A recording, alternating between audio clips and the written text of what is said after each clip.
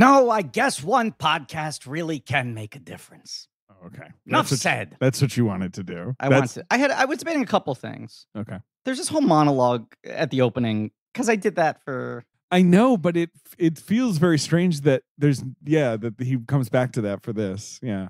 Well, it happens at the beginning of two as well. Does it? Yeah, yeah, but uh, but the one here is not.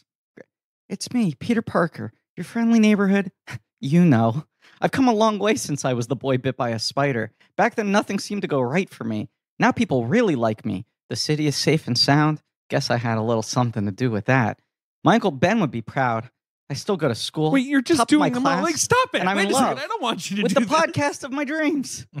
Shut up. that is a moment where I remember just seeing this in theaters, opening Yeah. day, time, uh, not Times Square, uh, Lincoln Square, IMAX. IMAX. Took my sister. Mhm. Uh, what she must have been like nine at this point. eight or nine. Yeah. Yeah, these movies are a big thing that we shared. We're both wearing Spider-Man T-shirts. Everyone's fucking amped, and that monologue starts. I'm like, this is going on a little too long. like it was just one of those immediate moments of like, a little slight deflation. just a little slight deflation. Just go, okay, I'll grant him this. Today we are talking about Spider-Man Three. Spider-Man three. Spider-Man Three. The battle within. The battle within. That was the uh the tagline. The battle within begins. I, I just see the battle May. within. I go, well, maybe there was a, uh huh, right. Yeah. I mean, the, I remember the iconic drop of the first poster, the, Huge. this one, Right. where it was like, wait, is this in black and white? Or is, wait, what? That was the thing. The poster came out, everyone went, oh, moody. And then Sony went, by the way, that poster's in color. that, yes, I remember Ain't that. it cool? Exploded. Yes. Um, we're here to talk about Sam Raimi's Spider Man 3. See it in IMAX, Griffin. You did. I did. Uh, the end of Sam Raimi's Spider-Man trilogy. Yes. And I Un- think almost was- unintentionally. Well, that's what's weird is I think everyone viewed it at the time as like he's going to finish the Spider-Man trilogy, I and then very so. shortly afterwards, it became clear that he was like, I want to keep making these, Right. especially after this one. I really want to keep making them. I don't think I ever thought of this as the conclusion to a trilogy. It doesn't feel like it doesn't feel like one. It feels It's maybe the conclusion of the Harry Osborn. That's the Right. thing that made it feel like a conclusion, and I think Maguire's But salary it's was not going. a conclusion to Spider-Man's story So, in the uh, slightest. no, No. no. Although Not that I, there needs to be a conclusion. no, to the I do like right. the messiness of the of the ending. Uh, it's a conclusion of the Harry Osborn arc, absolutely.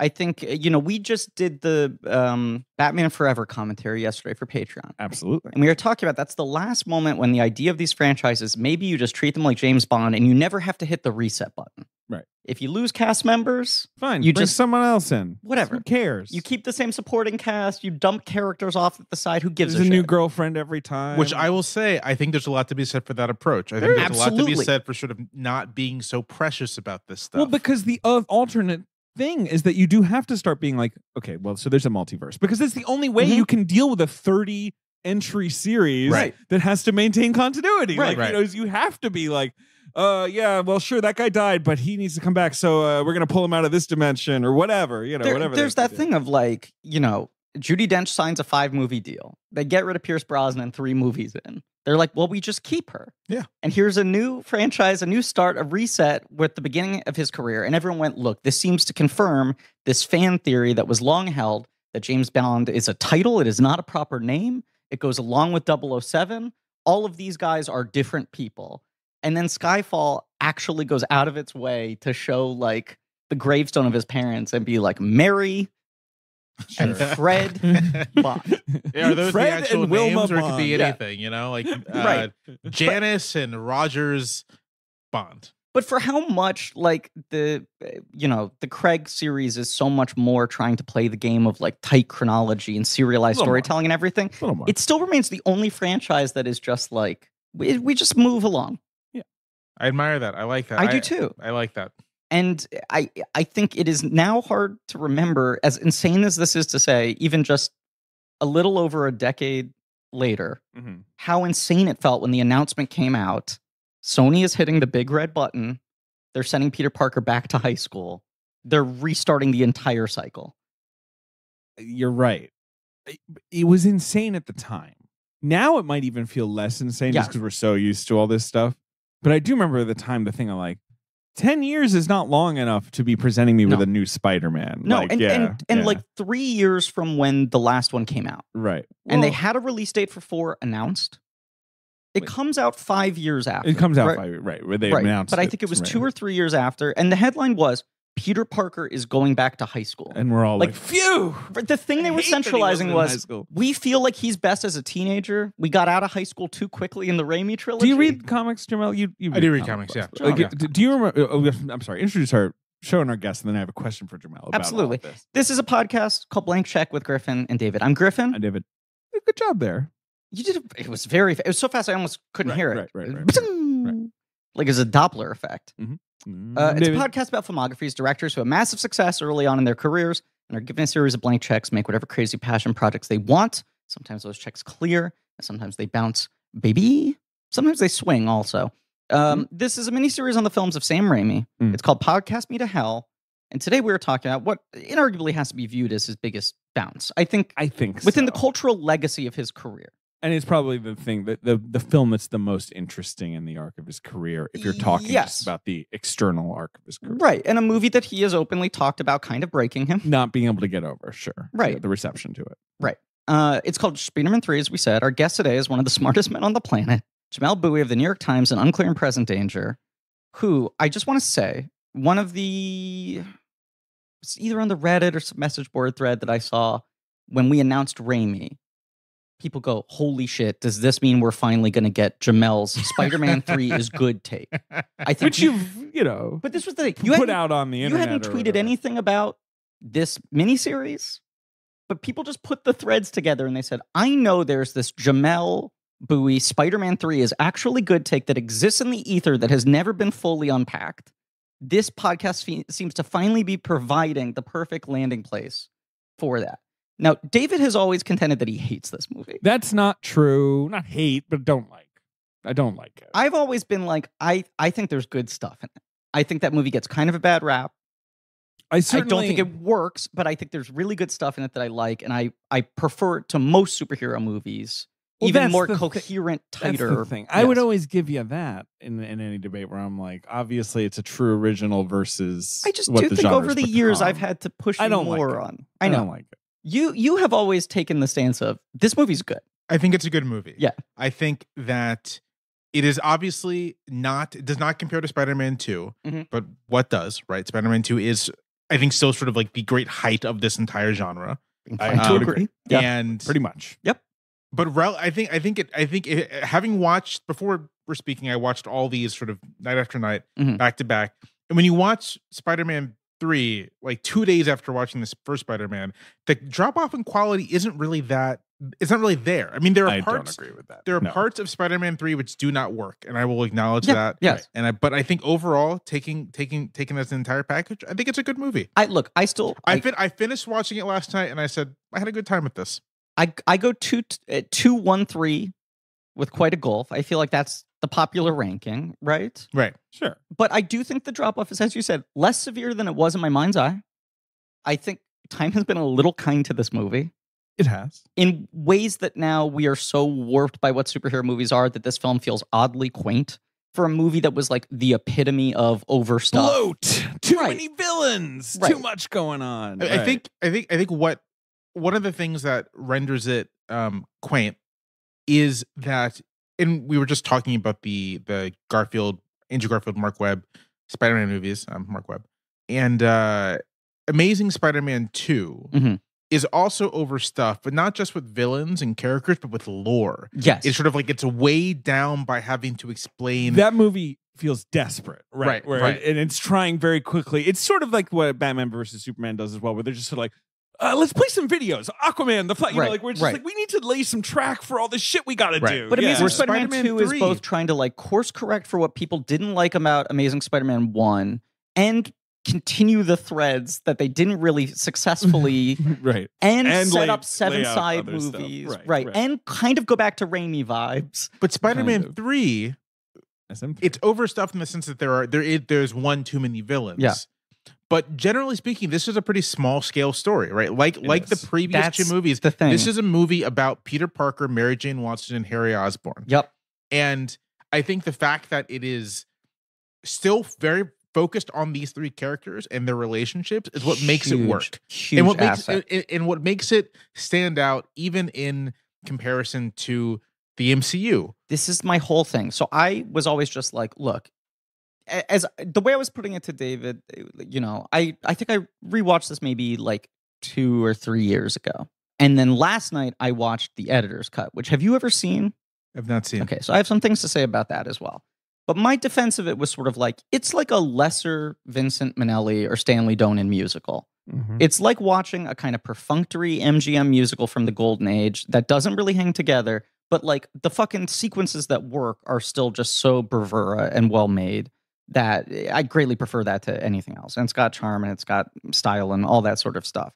But watching it this time, I was just taken by, and, and let's just say, David, we saw Doctor Strange and the Multiverse of Madness last night. We did. I literally did a back to back Sam Raimi double feature Sure.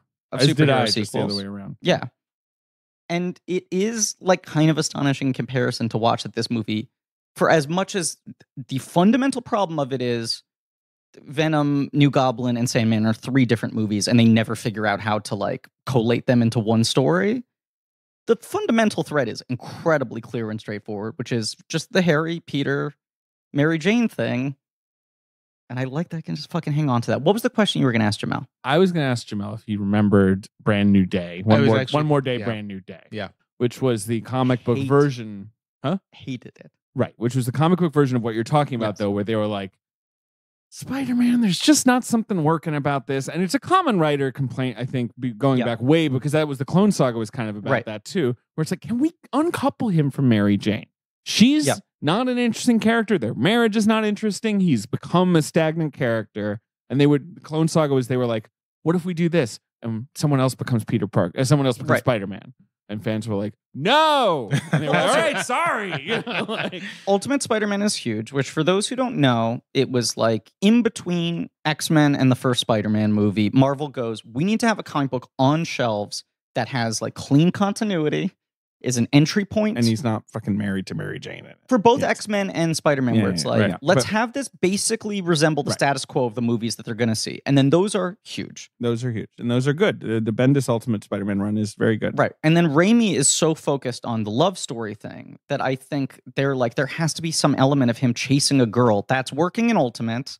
It's working in the movies. Sure. And in Amazing, he's a happily married school He's- teacher. Right, right. And so one more day is this preposterous way from the break. Do you remember enjoying that, hating that? Because I definitely did not like. I did not like it. I No. I it, it, it, Mephisto steals their Yeah. marriage as a price for saving Aunt May's Yeah. life. Ben, Yes. the premise here is that Aunt May is going to die, and Spider Man's like, give her one more day. And Mephisto, who's essentially Marvel Satan, is like, I'll keep your elderly, probably close to death Yeah, like anyway, eighty something alive if you let me rewrite the timeline so that you were never married to fucking Mary Jane and you don't know. And her. Peter Parker's like, "Why?" And he's like, "I just love your marriage." Yeah, Like, it doesn't hate really make sense. So convoluted. Right. a, a weird thing in Marvel lore is that basically all gods and mythologies are true. If, it, if It's if all it- real. it's all real. It's like, yeah, you heard of Norse gods? They live on a planet somewhere. You heard of Mephisto? Yeah, he's a guy. He's got like fire I hair and a tall collar. He sits on a bone throne. right. He's Oh fuck!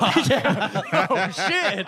Damn, he's legit. Yeah. Oh, but he's fuck. no good. He's no good. You don't want to get tangled up with him. yeah, but he's just like, I love you being single. And they're like, why? And they're like, because Marvel editor in chief Joe Quesada thinks it's more relatable to young readers. It's funny. A couple years later, they did another. I guess not a couple, four or five years later, they did another kind of big reboot that worked much better, and that was the Superior Spider-Man. Yes. where where When- Doctor when- Octopus is put into his body. right. right, A thing that on its face, people were like, this is fucking horrible. People were initially horrified. Right. right. But yeah. it really does work because it, works. it, it, it shakes up the status quo. and it's about like what is heroic about Spider. Right. Right. It- it's very similar to um, Stark Deconstructed, but just like one of my favorite Iron Man Mm. arcs, which, Ben, if you don't know the premise of this one, it is um, it's someone, it's like someone is stealing the Iron Man technology, as often happens.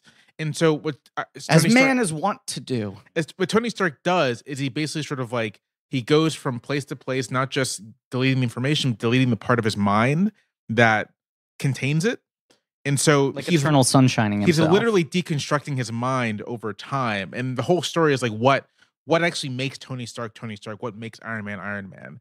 And it's a really smart like take on the character. Comic books Those- are so good. Those are always the best. Yeah, comic books fucking And is the comic interior of his mind kind of? It's both. It's, it's both. both. Yeah. Okay. That sounds really interesting. But that's always like the best. I I I feel like so often the best uh, uh, superhero arcs, the ones that linger with us, are the ones where a writer comes in with a radical idea to just go like, I want to answer the fundamental question: Who is this guy and what makes them special? Batman R.I.P. yes, These are all kind of actually concurrent. They're all kind of right, happening it's at all the same mid time. two thousands. Yeah. And- yeah, and, yeah, yeah. like, yeah. I would argue all the best superhero movies try to do that same thing. Like they treat it like an outside the box arc where it's like we have to fundamentally test this character and why they are this person and why they do this and and all of that. I will say, as someone who only really kind of casually read comics, Sure.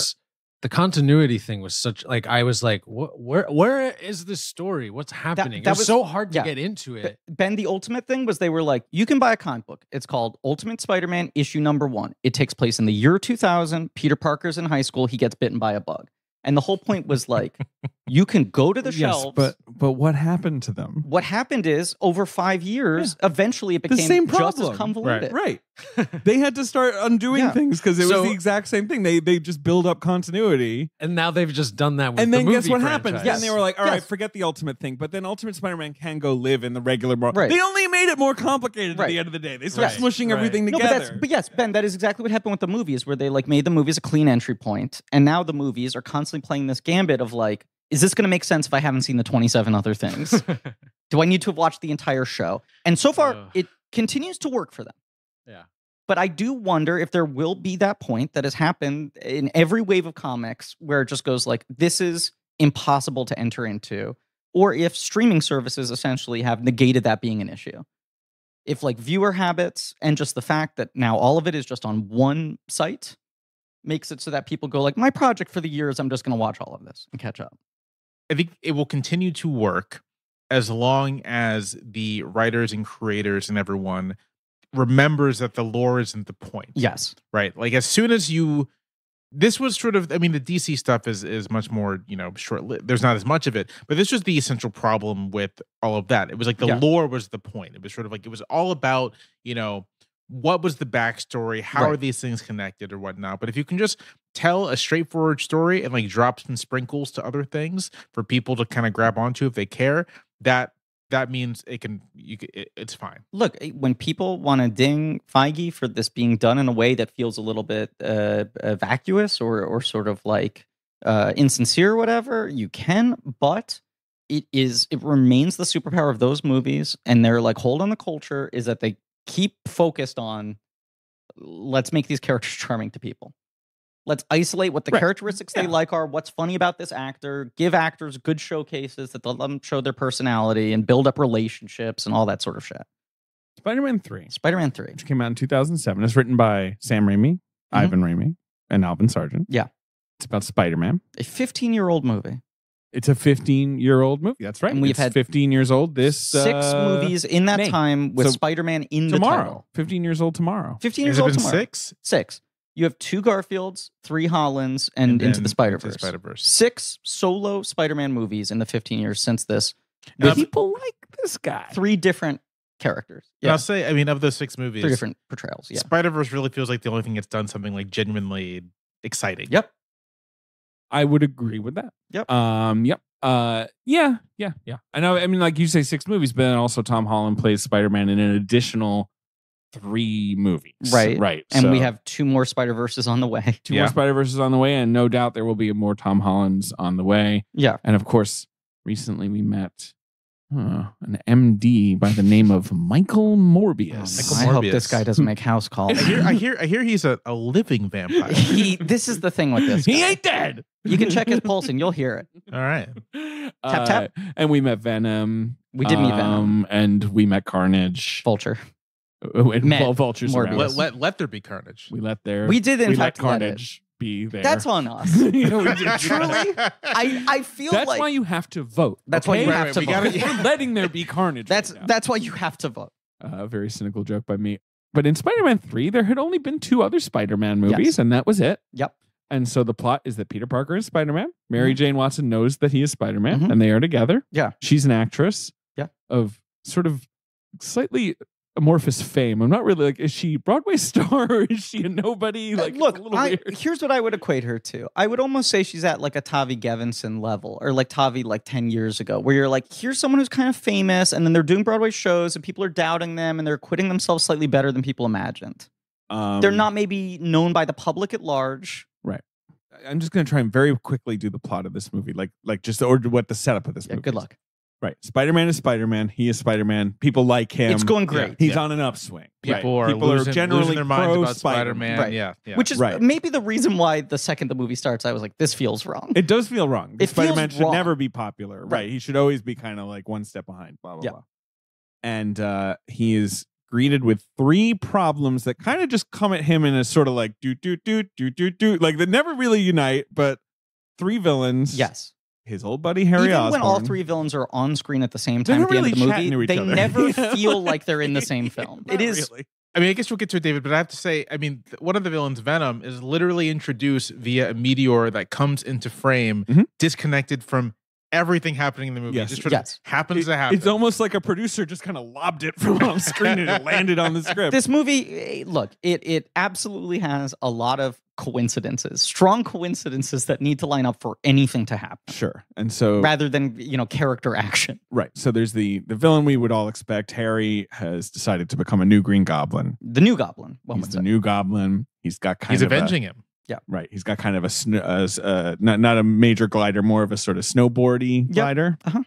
Wasn't there a character called Hobgoblin? There was. Yes. They never do Hobgoblin. Is he was is he connected to? yeah, when But Hobgoblin they're not shows up, it's, it's them trying to repeat the original mystery of Green Goblin. Because when Green Goblin was introduced, part of it was like, who is the Green Goblin? Right. Right. Right. And so Hobgoblin, it was a lot of like, who could this be? Ho- hobgoblin was like a copycat He was Harry- a copy. He just it. had. He was like eighty percent more pumpkiny. He was like Right. the same. well, that's thing what I loved about pumpkin. him. Yeah, I was more like, kind of shit. almost like, wait, am I gonna get some fucking? but then there's also what's his name mad jack Yeah, there were so many Mad gob- Jack was, like, goblin-y guys. all fucking pumpkin shit right. he pumpkin for a head like he's a fucking uh, like a skeleton um It's a but- great but, choice on harry his part. became a green goblin too Right. He's Green Goblin Okay. the second. and then there's whatever. Demogoblin Goblin Yeah. Junior as Peter. Ned Kind of. Leeds him. becomes Demogoblin or became one of the other fucking goblin. I don't know. Um, There were a lot of goblins, but but canonically in the comics, when Harry becomes the Goblin, he is the new Green Goblin. Right. He's not the new Goblin. He puts on the fucking. He takes the mantle on. yeah. Got so so he doesn't re. We got Harry it Goblin. as Harry, much Harry, Harry. Goblin. Harry Goblin. We've got the Sandman, hmm who, of course, is not just a man of sand, but it turns out is the murderer of Uncle Ben. Uh huh. And then later in the movie, we have Eddie Brock, Yes. rival photographer, who Right. later in the movie becomes Venom. Yeah. So those are three things that are happening, And they're like, kind of in parallel. th- yes, they are kind of three complete attempts at in microcosm. three columns. Here's a three villain. Silos. Here's what their deal is. Here's how they relate to Peter Parker's journey, and this is the arc that they have with each other. Right. It's like three complete movies that are all smushed together. And I think, I think you could have, if you took out Venom, I think you'd have a movie that works better. If, if you took out Certainly. Sandman, I think you'd have a movie that works I better. think two out of three they could have pulled off. I think you can pull off two of those villains in part because they all I mean they all have like thematic resonance. Yeah. Like they're not just it's not just a villain for the sake of a villain necessarily. Right? Yeah. Like Eddie Absolutely. Brock is sort of what if Peter Parker were even a, a bigger shit? right. And like how would that manifest itself? The Harry stuff is self-explanatory, and Sandman is sort of like you know offers an opportunity for what you saw in Spider-Man 2, which is a villain conflict that's resolved not by Peter Parker beating the shit out of someone, Right. but by something internal to him, him- to him, the humanity, right, overcoming yeah. a thing about himself. This is the whole thing they with are this very movie. similar are eh, right because Right. Doctor Octopus is the same where it's like what does he want to do he wants to like rob a bank you know it doesn't really matter what he wants it's No. all about he needs to overcome or he needs to reach the conclusion of this internal arc that he I, is I, going I think all three of these things in microcosm work on paper. And I think any one of these three options is valid as an approach for what you do for Spider-Man 3. and it's fine to have two villains I, think two would have worked. I Right. also think if if it had been one, and even if the one he did was Avi Arad forcing Venom on him or Sony forcing Goblin on him rather than Sandman, which is clearly the one he wants to do the most. I think if it was just focused on one of them, he could have completely nailed this. Yeah. Even the Venom movie, I think if actually given space, although it's the one he clearly wants But to do this the is- least. Yeah, it is. I think there's something there that he could have made work. Well, I think when you get to like a meteor falls from the sky and happens to land on his bike and then follows him back to his apartment, like all the things in the movie that are totally weird and slapdash and rush and whatever come from them just being like, how do we do all of these at the same time? It just fucking just grant us this shortcut. And the movie takes so many shortcuts that by the end you're just kind of like, you could very easily imagine, right, like a Venom centric movie that kind of carries on with Mary Jane's uh Yes. former fiance, right? Yes. Who is who is an astronaut. So Right. Yes. that gives you that But it- he's Man Wolf. Come on now. He's now if they'd done Man Wolf. yeah. Sorry, go on. no, um, and I think there's I think there's a venom not just what you're saying about him being a little bit of a shit, but the the Frank Grimes of it I think is Yes. a little interesting. Yeah. These first two movies have presented Peter Parker as being such a sad sack and so bottom of the barrel, everything's so hard for him. And to have someone show up who's like, nothing works for me. I didn't get bit by a fucking spider. Right. The girl doesn't end up with me. Like the thing I like the most in in the Eddie Brock uh plot line in this is that he and Gwen never really have a relationship. And Right. he's just like, no, she's gonna come around to me. I like that, but it also makes no sense and is sort of baffling. From I like it in that it In execution- me. right? In execution, Right. it just feels like I just but I think remember you could in do the, theater, full Grimesy Yeah. here's Look. right. real quick, David, I, ju- I want to ask something ahead. about, No, about the ahead, Eddie go Brock ahead. arc. Um, so uh, the thing that really breaks Eddie Brock is that he plagiarizes a photo and Peter Parker catches him and like kind of which is which is the sort of classic uh, comic book origin story for him, right? Would would you have ratted out Brock? Hmm. Watching it now, like twelve years into being a journalist, I'm Too like, yeah, journalistic. Fuck that guy. Yeah, hundred percent. and he's like so craven, Yeah. like, and like it's it's also it's, Kraven de some of these. hello, hello. the biggest game of all is in Central Park. No, um, I really wish they had done Kraven. I know, I know, Raimi wanted to do him. Yeah. Um, Eddie Brock doesn't make a lot of sense in this movie. No. in any way, right? Like, but it's what you're talking about, where he shows up and he's like, "Ha, I'm pretty cool. Like, you know, I want a staff job," and he d- forges a photo and all that. And Spider Man's like, "You made this up." He's like, "Please, man, I got nothing else." Like, he immediately flips to like, But his- I don't have any prospects. His entire arc needs to happen in essentially four That's scenes. the problem. So that when, Pe- when take Peter place is 30 mean minutes apart him, from each other. You're like Yes. Peter is honestly almost doing. Even if Peter wasn't Yeah. a dick after this, he's doing uh, J. Jonah Jameson a favor here. Right, it's like this right. guy is so bad that he immediately resorted But to that's this. why I bring up the Frank Grimes thing because I just think there could be a thing where there's like uh, death by a thousand paper cuts. He continues to embarrass this guy leading up to the big moment. Right, the- that there's more of a rivalry. I mean, Right. look, this is the problem, as we all know, and we will. I can get into a little more, but I think a lot of people know. This. Raimi wanted to do a, a movie with the Sandman Yes. and Harry Osborn, and Avi Arad was like, "Sam, the fans demand Venom." I'm doing a Transylvanian Yes. accent for an Israeli guy. I don't know why. Um, Blah, blah, and- I like yeah yeah blah, but blah, like he, blah, blah, blah. blah, blah, Yeah. blah. but right like you know venom is crowbarred in but then of course venom actually becomes crucial to both the theme of the movie which Yeah. is like peter wrestling with Dark his darker right, side right. right, It- to the advertising in the movie the black suit and the whole fucking thing. Yeah. so you're going into this movie being like all Venom. right okay this Right. is like a venom movie and then the movie is like so uninterested in Yeah. that for most of the the, plot the other thing is, for what it's and it doesn't know what to do with Venom when he's No, Venom right. at No. all. Like that is the worst failing. He's almost Yes. more interesting as Eddie Brock. It, it uh, it's obviously Raimi was less resistant to the Harry Goblin stuff than the Venom stuff, but the Goblin stuff was also sort of prioritized by Sony. Like he was Really? like, Well, I but want he wanted classic to villain. finish the right. He the did, but I think Sony arc, was right. like, he really needs to like, we need to fill this. I think a lot of the design elements were like, th- there were sort his of, design is kind of lazy. but it feels very Sony like yeah. hip PlayStation Three kind right, of right. like. that's what he Yeah. feels like. Right. Yeah. It's not like horrifying, but it does feel.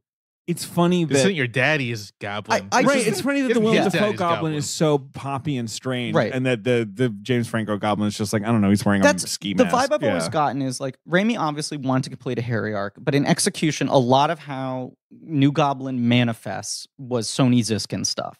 And then Arad is all about there has to be a new There must suit, be there has to be Venom. Venom, you have to do symbiotes. Right. And Raimi's like, I just want to do another like I want to do another 60s villain who, you know, wants to steal a big bag of money, but he's also got a heart. Like, Right. That's what Raimi loves. yes, that's the only thing he cares about. you really. you can you can see that in the movie too. That w- there's that scene where Sandman is before he's the Sandman, Right. is talking with his estranged wife, and it's Yeah. like it's like uh you know it's, It's- like quiet domestic Played It's by like scene. truly like out of the Russell. 50s crime movie. Right, Right. yeah, Yeah. Yeah. it's- Yeah. Where you're like, I know this guy's going to have to go back to jail, but I'm also going to be like, ah, you know, and he's going to be played by like Gene Tierney or whatever. right?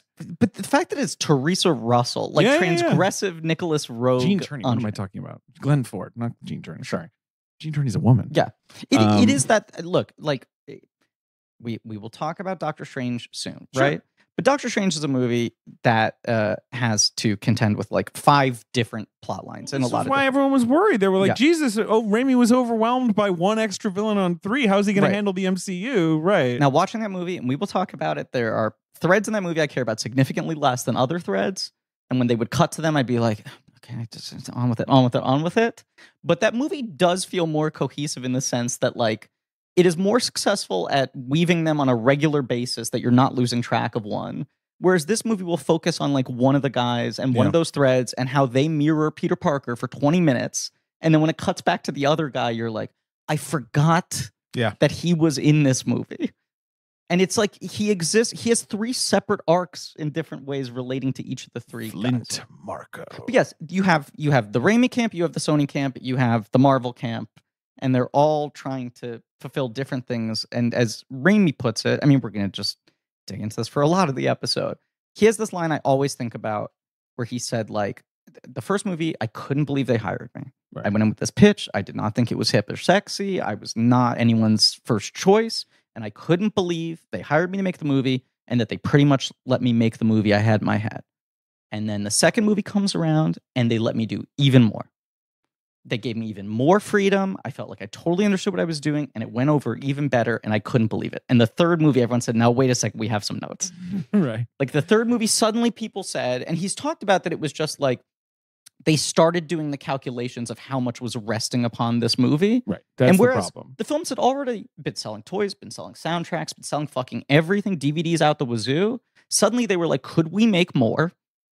Can we can we come up with an algorithm to make more? And the analogy he says that I feel like now describes how most of these movies are made. And at the time, I was like, that's tragic. Why would anyone put someone in this position? But it's all of these films now. He was like, they essentially, I was like on a helicopter or I was on an airplane, and they said, here's your release date.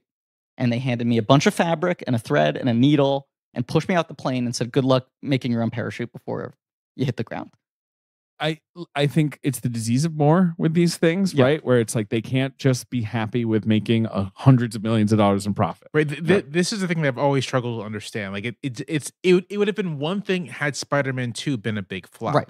But Spider-Man 2 like okay, okay, Yeah, hey right. buddy, yeah, yeah, yeah. But- Sp- Spider Man 2 makes like 10% less than Spider Man 1, but is beloved. I don't think anyone was complaining of the drop off. I think, especially at that time, sequels always did better than the first movie by and large. And people were like, you mean worse, yeah, the first one was a phenomenon. right? You, you mean worse? Yes, Okay. I'm sorry. Sequels usually had a Yeah, slight yeah, drop yeah, yeah. It made pretty much the same amount of money and was beloved and sold a thousand fucking t shirts and Right. whatever.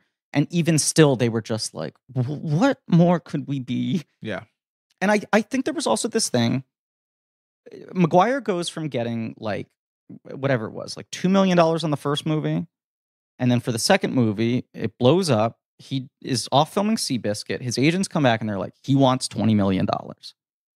And Sony balked and they were like, fuck you. We're going to hire Jake Gyllenhaal. Or he said, he said, I want 20. They said, we're not giving you 20. And he went, oh, my back, my back hurts. I can't do the movie. They went, we're calling your bluff. We'll hire Jake Gyllenhaal. They brought Gyllenhaal in for like a meeting.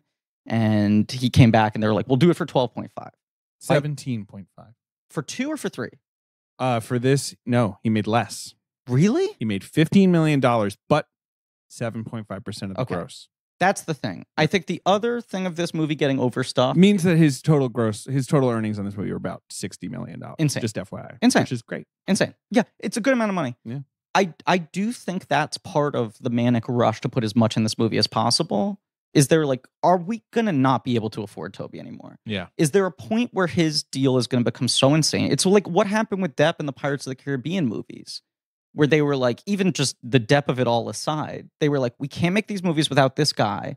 And in order to lure him back every time, we have to offer him 25% of the gross. Like it just becomes unreasonable. Do we want to reset him? At the very least, we want to resolve this fucking Harry, Mary Jane, Peter stuff while it's still him. Sam Raimi hated that Spider-Man 3 was announced while they were making Spider-Man 2. Yeah. And he hated that essentially there was a target on the calendar. It's he the had to hit. parachute thing. Yeah.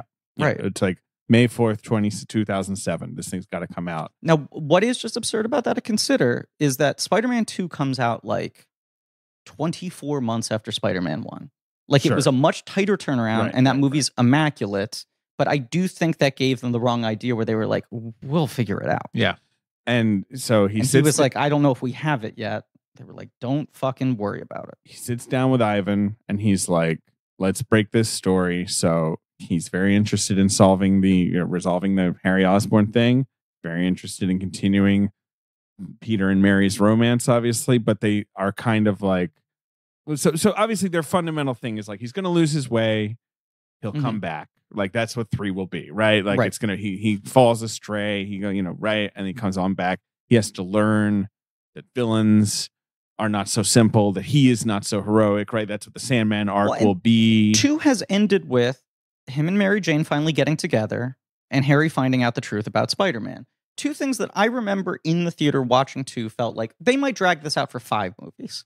Which they could. I mean, They you could, you could easily you could easily imagine a Spider-Man 3 that actually drops the Harry stuff entirely Yes, and just like leaves it for a fourth movie. absolutely. Harry's in the background. right. He's just sort of like become he's goblining, becoming goblin. I just remember being astonished that they fully just said, here's the status now going into the third one. Yeah. Do you guys agree with like their whole point? Like, like the whole his all his quotes are basically like the most important thing for Peter to learn is the concept of him as an Avenger, as a hero. You know, paying, uh, you know, bringing criminals to justice, Mm. paying down the debt of guilt about the de- the death of Uncle Ben. We felt it to be a great thing for him to be a little less black and white, to learn he's not above these people. He's not just the hero, and they're not just the villains. But it, but it's the thing that we were talking about of like what makes Peter Parker Spider Man. It's not the suit. It's not the bite. It's the fundamental guy here. What does he need to learn about himself? We're all sinners. None of us are right and wrong. Can I Right. say something? Yeah. yes. I don't think the Sandman shot your uncle dead, and he's he's his killer. But you know, he had, he had a daughter to feed. Is a really really profound way of illustrating that. I think that's a little silly. I agree. I think the thing with Uncle Ben is stupid. He shot his fucking uncle. Like this is a this is a bad idea. This is a bad like It- it this is- can be it a is- character with a lot yeah. of pathos without introducing this weird. He's tied to the original. crime. Sandman is my favorite part of the film, and I also think that is the single worst decision in the entire movie to make him Uncle Ben's killer. Right. See, I think I think it I, I think it can work. It- sure. I think it can work because the the problem for Peter then becomes he has established himself as this hero who helps people, and here he's presented with an opportunity for revenge. And so, sort of the, the temptation of revenge is the thing that Peter has to overcome. And I think it's entirely.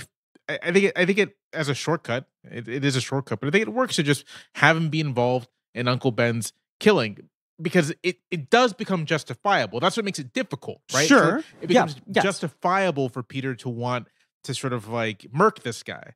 I, I am all in on the revenge aspect of it, and I think that being the right thing to test this character with at this point in the series.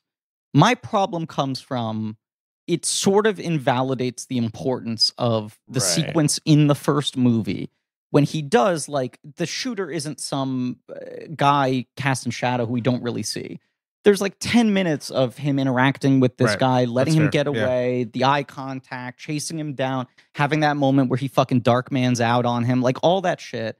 That I think the moment you go, th- he wasn't really the guy, he was an accomplice, it was this guy, and you wedge another guy in there, that doesn't work for me. It's like the thing of like, if they could have brought Michael Papajohn back and gone like, and then he turns into the Sandman, that's one thing. To add a guy who fundamentally was not in the first movie, rings weird for me, especially when the thing you're doing is like, the guy that Peter had the interaction with did everything up until the point where he essentially passed a gun to Thomas Haden Church, and then Thomas Haden Church did the one thing. Right, right. Um, it's also he's taking this character Sandman from Marvel from Spider-Man's Rogues Mm-hmm. Gallery, the classic Ditko Rogues Gallery, who has no backstory. Correct. The Sandman's backstory is he's a dude who turns into sand. That's Right. it. Right. Like, who's like, hey, Spider-Man, eat some sand. Like that's all he he doesn't have any No. motivations No. or whatever. No. So you're sort of layering this onto this to make a sort of classic, like you know, Jamelle was saying, kind of old sort of Hollywood crime story Yes. guy, where it's like, you know, ah, he, you know, he has a heart, he didn't mean it, like, you know, you know, um, and Thomas Haden Church is good casting for Really good that. I mean, he looks like a He fucking looks Ditko right. drawing. There's so many things he does. His Yeah. face, Yeah. like, Yeah. really And looks. just like Yeah. how they bulked him Yeah. up so Right, yeah, right, that right. he Yeah. looks He's- kind of top heavy. He's huge. Yeah, he Yeah. says he Oh. worked out for like 16 months. Yeah. like which is funny because because like he's like, kind of flabby and sideways. because he was right. He Yes. was over the hill. I mean, Right. he was very much. uh, Yeah. anyway, I, I think he's great in this. I think he understands exactly what movie he's in. He's got such a great fucking voice for this. He does have that thing where when you look at like Herbie, Ditko, Romita drawings in the 60s, you're like, do these guys know what skulls look like? and then you look at Thomas Haden Church and you're like, he's there got a 60s some comic guys, skull. Yeah. right. big big brow, Yeah. big eyebrows, The creases yeah. in his lips and the sides of his mouth and But his ears It's jutting this funny thing where he had just had the pinnacle of his career three years ago in Sideways. Right. Gets an Oscar nomination and a zillion awards. Like this stat I always love to throw out about Thomas Haden Church's career is that he is, of course, the villain in George of the Jungle. Yeah. And then he is the only actor who returns for George of the Jungle 2, the direct to video movie, which comes out the same year as Sideways. right. Yes. like that's right. where he's at, is like, what am I going to do? not be in Yeah, fucking he's- George of the Jungle 2? Yeah, he's uh yeah, George Showerman. It's an plays George. absolute like Hail Mary pass revival casting. Right. this is essentially his first role after Sideways. Yeah. Like he has two, you know, he's in Spanglish, which he made before Sideways, Right. probably. Uh, he has two voice roles, and he is a brief cameo in Idiocracy. yeah. But, But, this that's is, it. This is the thing he signs up for after the He Oscar clearly put so much work into Yeah. it, and it's like this comes out, and people are like, "All right, buddy, see you later. Yeah. that's enough. Like enough of you. Like It he never got to have no. his nice little character actor post Oscar career. No, he's like done some good work since He's then, but stuff, it and of course, I'm sure he made some money for No Way Home. He's in that for Yeah. a second. Yeah, it doesn't feel like. Well, by the way, the footage in No Way Home is it literally night? He didn't even record it. Like when Peter just- Parker uh, spouts him with the water and he starts melting Yeah, and turning into mud, they reverse that footage so his hand is reforming, right, right. right. and that's what it is. It's he. Anyway. They did not shoot a single day with him. His voice acting is his really voice good. Yeah, he's totally. He's totally. He's got an incredible voice. It is a shame though, where you're like, I feel like we were deprived of both the good character actor run after this, and also he didn't get enough shots to do fun, big budget work like Yeah. this as Yeah. well. Can I like we bought a zoo is like, why is this the It's weird. Yeah. Can I just say something about Sandman? anything? He fucking rules. Yes, thank you. I mean, very bad Sandman? appropriate. Sandman is my guy, Yeah. like my dry guy. Yeah. Well, well, well, one obviously he's a dry Sandman, sure. Yeah. But I feel like you also just like that he's like an old school hoodlum or Yeah, whatever. yeah, right? yes. Like- yes. But this movie unlocked something for me that because I didn't really fuck with his character in the comics. I just remember him from the video game Sure. I had. Like, Mhm. He always has the classic stripy shirt. That's his thing. He's got This the is what I was stripy gonna say. shirt. Because like Spider-Man One, they really make him rethink the Goblin costume, right? Right, right, right. Spider-Man Two, he's just like, we're just gonna put him in street clothes. He's just got the the jacket he steals on the day. We're not even gonna try to emulate the costume. This is like the most direct adaptation of how a character looked in the comics to screen, arguably ever. It's like, what does Sandman wear? Two-tone green striped shirt, brown slacks, thick ass belt. yeah. Mm, done. Belt. Right. His whole fucking thing. He's a goon. He's a goon. He's a big old goon. But the way that they portray him traveling in the wind, That's I was cool. like, wait a second. Sandman is like actually this really incredible fucking character. Well, and he and also got me really excited. Raimi, it's such a good match for Raimi because there's so many visual ideas you can come up with for Yeah. Sandman. Yeah. He's a guy whose power is so like And yeah. every time you see him in a scene, it gets dusty as hell. You know, he leaves dust in his wake, and just I My love favorite that. Sandman scene in the movie is when the cops are chasing him and he goes into the dump truck and the cop is like, "Where does sand come from?" He, there is a lot of sand in that dump truck. Um, so Raimi says we chose a villain that didn't have a detailed backstory, so I could do this. He Mhm. admits it, and Yeah. he and he says like, "Look, we changed the web shooters, Yeah. and I got away with that." I think he, uh, you know, he's a little bit like, "I love the visuals of Sandman, but I figured there had to be more." Peter Parker sees himself as a proud person in a very narrow way. He's right and they're wrong. It's about taking on other points of view he keeps hitting that. You know, Yeah. he keeps hitting this like weird sort of like we have to teach Peter Parker to expand his moral worldview, kind of like I, I do think for a guy who's succeeding this hard in this franchise at this point in time too, he sort of likes the challenge of like, we don't know if we can pull this off effects wise. uh, This yeah. is a very different type of challenge. Let's Yeah. see if we can do it. I yeah. mean, it's cool. I think they do, right? I mean, I don't think Yeah. I really have any complaints about the visuals of Sandman. He's cool, right? Yeah, he's fucking cool. I, I mean, but you get to things like, how does he turn into Sandman? He's running away from cops and he falls into a Well, pit. he's The- escaped from prison, of course. I right? understand. Yeah. he's he's escaping from prison. He uh, runs. He falls into a pit. The pit happens to be the. Sand experiment. It's a super collider or whatever. Yes. Right. I do watch this movie and go, it would have taken five more minutes. But this is like the movie doesn't have time, right? The idea of this movie being two hours and 17 minutes at this point is like, this is so overstuffed. This is so over. What are you supposed to do? Let this movie be three hours? Who would see a three hour Spider Man movie, Right. right? Do you really need to justify radioactive sand? Who gives a shit? No, this is all It's I'm saying. Spider-Man. This is right? all I'm saying. This is like the hurry this movie's in where I feel like they don't have the time to sort of unpack stuff in the way I feel like Spider-Man 2 in particular really gracefully builds shit up. Do you does the character not become more tragic if the whole thing is he's like, I will eh, agree to be a fucking scientific experiment to get out of jail, to have my sentence shortened or whatever Sure. right? That it's part of the thing of him wanting to get and see his daughter make money. He thinks it's going to kill him or whatever, and he'll have money to send to his wife and daughter. That's the original backstory. there is No, no, original no, no. backstory. The Oh, original you're backstory just is that you're inventing that. That's okay, like- I wasn't. The a clear. much, that's a much better solution. That for this. actually Right? Griff. That The, is. the original backstory, I believe, literally is he fell into a fucking Right. sand experiment. No, but I'm just like if if you've set up this whole thing of he's doing it for his wife and daughter. He's a guy who's riddled with guilt, the mistakes he made. He wishes he could provide for them.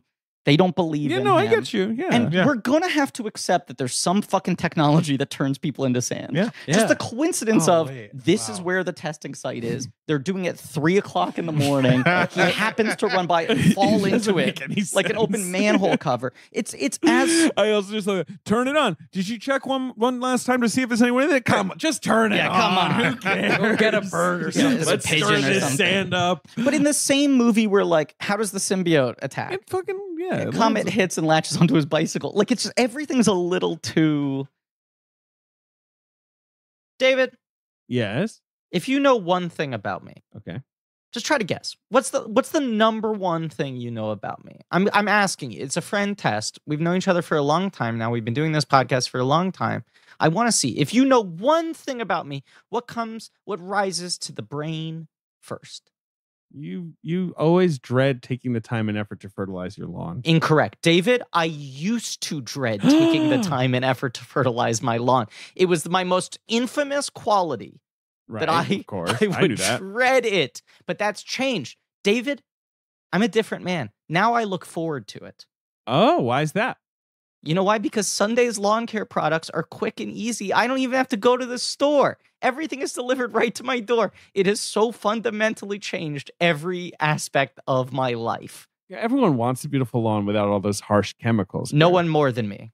So you're using Sunday. You're using this this uh, product that has ingredients you can actually pronounce, like seaweed, iron, Molasses. molasses. I mispronounce every word, and I I said those three words correctly. Saweed, Iran, and molasses. The best part, David, Yes. it works. Oh, that is good. That that it would really would not be any good if it didn't It would work. it would suck if after all this wind up I revealed that in fact it did not work. Are there any questions you want to ask me, David? Uh, hmm, let's see. I mean, does your lawn have weeds or bare patches or pet spots? I'm gonna give you an answer. Can I give you an answer real straight? Yeah. I'm just gonna throw a smoker right by you, Okay. Okay. Answer is not anymore. Oh, Because, Sunday, they helped me solve all these problems and more the easy way. They got everything that I need from fertilizer to seeds to weed control, and it's delivered right to my door. That door that's surrounded by a very well maintained lawn. That's really cool. I love it. Thank you. And you know, your yard is your personal oasis. It deserves the best. So you want to grow a beautiful lawn, uh, control pests and fight weeds without the toxic stuff. Yeah. The lawn care, it's effective and super easy, I've been told. You just go to sunday.com, you put in your address, and their lawn analysis tool does the rest. They're going to use soil and climate data and create a personal nutrient plan for you. Oh, delivered right right to my door. And it's eh, you know what I love about things being delivered right to my door? Uh, no, you're going to have to tell me. That's where the lawn is. Of course. Every time I go to my front door to pick up a package, I'm reminded of my beautiful Manhattan lawn. Uh, you, you're a Manhattan lawn boy, and we love it. Uh, look, I'm going to call to action. Please, I insist. Sunday is offering our listeners 20% off. Full season plans start at just $129, and you can get 20% off when you visit getsunday.com slash check at checkout. That's 20% off your custom plan at getsunday.com slash check. The original plan was to, to have Vulture appear at the end of this movie Right. Uh, to set up Spider-Man 4. Right. They wanted Ben Kingsley, John Malkovich was considered, There's a lot of names like Yeah. that. Uh, as Thomas Haden Church puts it, all that got derailed. And then he corrects. He's like, well, not so much derailed, but took a different railway, which I actually think is a good way of putting it. I where it's like Sam Raimi had his idea, and then suddenly, like, Avi Arad is like pulling a switch, and the train is like going express. I, I believe Kingsley was like in negotiations. They definitely talked to him about it. Yeah. And yeah, for yeah, yeah. Spider-Man 4, they straight up hire Malkovich. They they did hire Malkovich for a movie that never It was a done deal. right? Yeah. It's, it's Um, interesting just sort of thinking about you know the wanting to stuff multiple villains into this movie. Um, in this, you know, the train was derailed. It does feel like Sony basically has spent the last 15 years really trying to make a movie with all the Spider-Man villains. Yes. They're Like, they obsessed just- with the Sinister They're, Six. they're, movie, they're right. absolutely obsessed with it and Having them coexist on screen. yeah. which makes no sense because the Sinister Six are not independently a comic book entity. It's not like I pick up a Sinister Six comic. No. They fight Spider Man, Right. But like, I- I don't then like read about like their interactions. No. like I don't get what a Sinister Six movie is. Who No, are the Sinister well, this Six? is- It's thing, the fucking Sinister- Doctor Octopus, Sandman. Who we got? Electro, Rhino, Mysterio, Electro, Mysterio, Rhino, the Vulture. But, but, the like, Vulture, and then maybe you know eventually you can swap one It in. rotate. You know, Kraven's in there sometimes. Yeah. And whatever. it's It's- basically all of Spider-Man's villains are sort of like They every so together. often they're like, let's get together and try to really like fuck this guy up. like Hang. yeah, let's. but mostly fuck him up. So it's Right. fu- there. There actually there was a. It's like Ringo Starr and his All Star Band, where it's like, who's available this Right, week? it's the traveling Wilburys. Right. Okay, like there's a lot of comparison. The Around- idea is just let's get six of us. around the same time And as we're the sinister. um, Superior Spider-Man reboot, there was the uh was the Superior. It was the the, the something enemies of Spider-Man. It was a book that was all of his like B and C tier enemies. Uh-huh. Who hung out together and kind of just griped about getting their asses kicked by Yeah, that's what I superior fucking foes The of superior, Yes. Spider-Man. and that was actually really good. Yeah. And that- right. That's that- like Beetle and Shocker Yeah. and Speed Demon, like the really lame. that's Spider-Man kind of a, a villains. Right. premise for a movie, right? Right, That's right. that's the direction you would go. where, where you're being funny about. Right. The, the right. Drew Goddard Sinister Six movie always sounded like it was like the, the thing he always said was that he was making like Sorcerer, like it was a bunch of cons who all were stuck on a mission together. It sort of sounded like he was trying to make Suicide Squad. Sure, and that That it was a heisty Suicide and it's Squad thing. amazing that Marvel's never done a Thunderbolts movie, which would be their Suicide Squad. Like they'll do yeah, eventually. but it also feels like whatever the Julia Louis Dreyfus stuff is happening is either going to set up Dark Avengers or Thunderbolts or some version of that. it never ends. Anyway, okay, But So- but I do think just because we watched Batman Forever yesterday, David, Yeah. there is that thing that I think Sony is jealous of, where they're just like, there was a point where Warner Brothers was able to put a bunch of these characters on the screen at the same time. And it even goes back to just Adam West series, how exciting it was if you saw an episode where two of them teamed up. And in in the Spider-Man episode, I talked about how like they made so much fucking merchandise of all the civilian characters because they were like, I don't know, it's Spider-Man. Well, kids want to buy Norman Osborn and an Oxford shirt. For Spider-Man 2, they were like, no, we have two characters. We only can make merchandise of two characters. It's Spider-Man, it's Doc Ock. We don't even bother making anyone else. As much as like Batman Forever gets dinged with like that's the toyetic, that's the movie where the toy companies come in and start demanding stuff. The main producer on this film is Avi Arad, whose background is a toy company. And I think he's going to him and he's like, You have two characters per movie that are visually dynamic. You need to give me more. You need to give me fucking something to work with here yeah, and the idea of being able to like have a lineup of you know these characters coexisting on screen at the same time visually i think was just like sony was jealous that they weren't playing that game Was Sandman the toy filled with sand? should have been. there probably was Um, at some point yeah Look, yeah probably I Sandman is in Sam Raimi's story. Laura Ziskin swings in Mhm. and says Gwen Stacy should be in the movie. Great. Sam Raimi's like, that makes no sense. Why would she be in the movie? we skipped gwen we skipped Gwen, right? She's actually Peter's high school girlfriend. Mary Jane comes later. Mhm. Like, I don't think Gwen is not a compelling character in her own right, which she's not. She's a Yeah. terrible character in the comics. She's Sure. just like, oh, Peter, why won't you pay attention to me? Like, yeah, she, she you know- more or less exists just to get killed by the Green Goblin. Right. The, the, Right. the reason they kill her off, like it's funny because of course, you know, they talk about it. They're like, we can't believe we did that. It was such a Mhm. shocking loss of innocence for the comics, but also she was a non-character. Yeah. Right. Uh, mary jane she's immediately had more by personality that. by the first frame Well, I mean, the introduction of Mary Jane in comics is the greatest panel Right. in comics history. It's so good. Yeah. Um, but uh, but yeah, so like Gwen is just not like you know, there's nothing. It's not like we can't wait to have Gwen on screen so she can. Yeah, like there, there's no answer to that question. But I think that really must have have been the thing. of like, have we resolved the love story? Do people like it's the the one more day thing of like, do people want to watch him just be happy with Mary Jane? There Well, has to be trouble in paradise, That- I right? think, but it's also I think it's it's what more what you're saying as well, where it's just like no, there needs to be Gwen. She's a character from Spider-Man. Right. She hasn't been in these movies yet. right, Right. Put her in the movie right. so that they can have Gwen. Then, like Yes. Gwen will be available at Yeah. all times going Right. forward. Like it's just like get these people in movies. Right, and Gwen gives us Captain Stacy. Like, just get fucking Exactly. everyone in here. Now, so you read all this stuff about Raimi uh, to his credit, basically just complaining to Premiere Magazine about this. Mhm. But then uh Raimi says, Well, okay, so we decided to take this policeman character who's on the periphery of the scenes and turn him into Captain Stacy Mhm. and make this one character who's in the jazz bar Gwen Stacy. Okay, The worst possible fix is like, why don't we just take this nothing character, flesh her out a little more, Yeah. put her in five scenes versus one, yeah, and now Gwen Stacy's in the film. And it's like, well, now you just have this like distraction yes, who doesn't get to do anything. right. Anyway, I like her what they did. line when she's introing Spider Man. She goes, like, he's everyone's favorite. He saved me from 89 stories above. like, what a weird, like, credit to, That- like, intro someone with. Yes, yes. It Um, almost sounds like a joke, but I don't think it's actually a joke.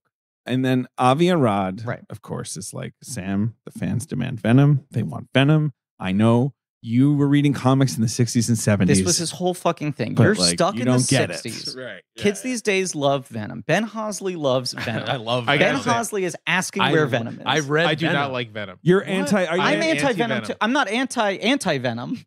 another character? But I don't You're, like- like a serum or anything. Right. Right. Right. Uh, but I've never Um, liked Venom. Yeah, I don't like Venom either. I just think Venom smacks. Venom, who was a, a thing when we were all kids, Right, It was right. the height of his Humongous. popularity in the comics. Was Was it- the drool Was like the, imagery. and, and absolutely fucking great. the- like the biggest new comic major adversary creation for Spider-Man for a, blah, blah, blah. a, Right. a decade, if not more. It just it's it's too much of the '90s. Got to be extreme. Big, gotta be That's my whole gritty. thing. Yeah, it's just it's Right. too. It's it's so big teeth.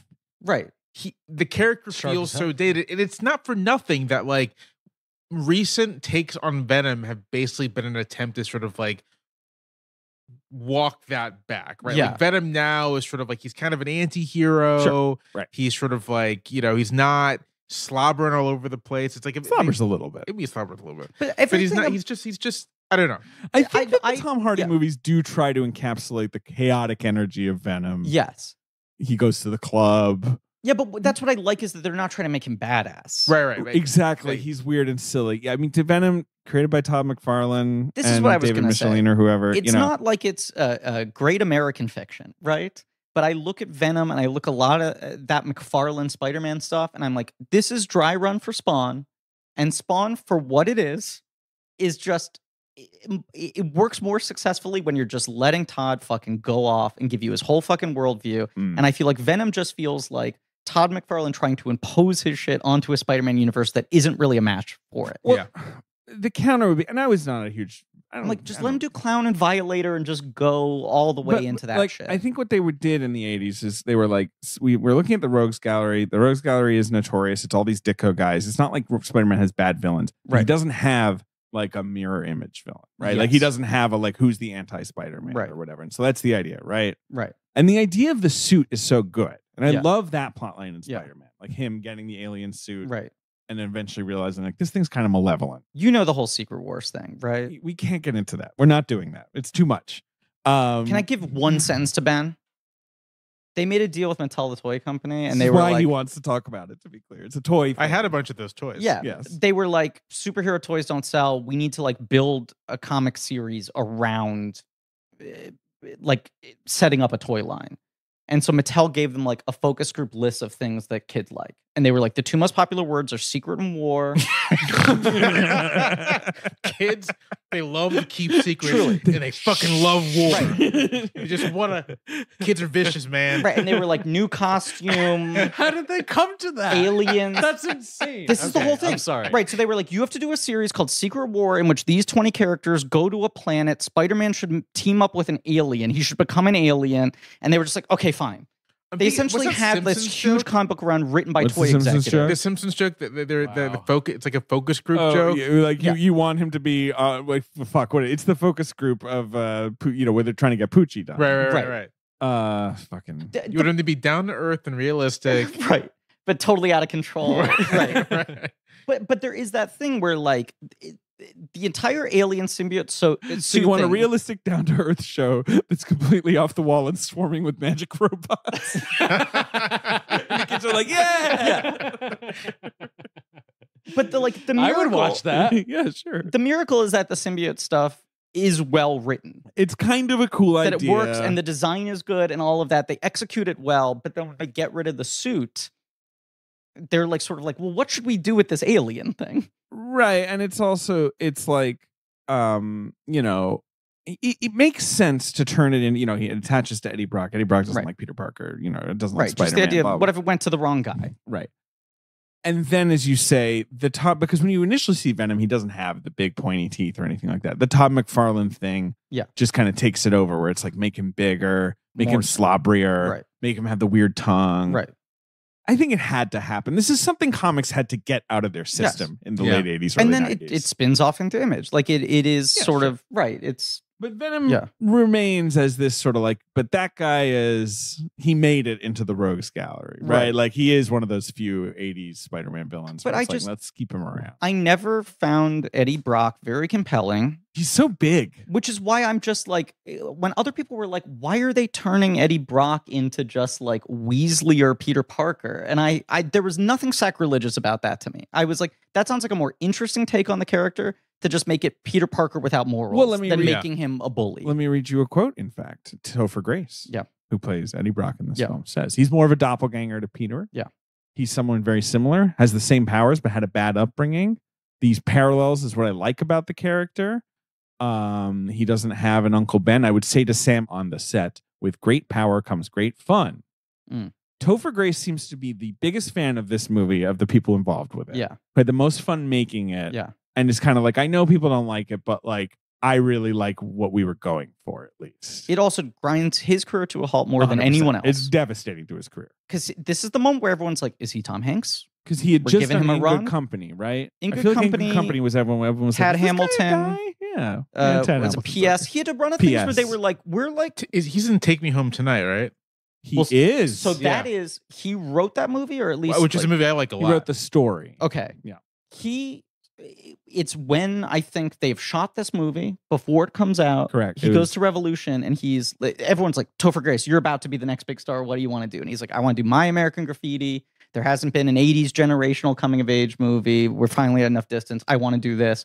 They shoot it. It sits on shelf for like three years. Right. That famously took forever to. it was supposed to be like right? I think the immediate cash in from the success of Spider-Man, and when that didn't work, and all of Dan Fogler's comedies didn't work, and whatever, it's that thing where like it comes out, and Anna Faris and Chris Pratt have been married for three years, and that's the movie where they meet. Yeah. But but yes, that's like his follow-up to this, and this movie ruined his it's on shelf forever. Yeah, because his follow yeah, after this he's in Valentine's Day in 2010. Yeah. He's in Predators. Which is him being like, I'm playing against type. I play a serial killer. He's in Take Me Home Tonight, which is released very late.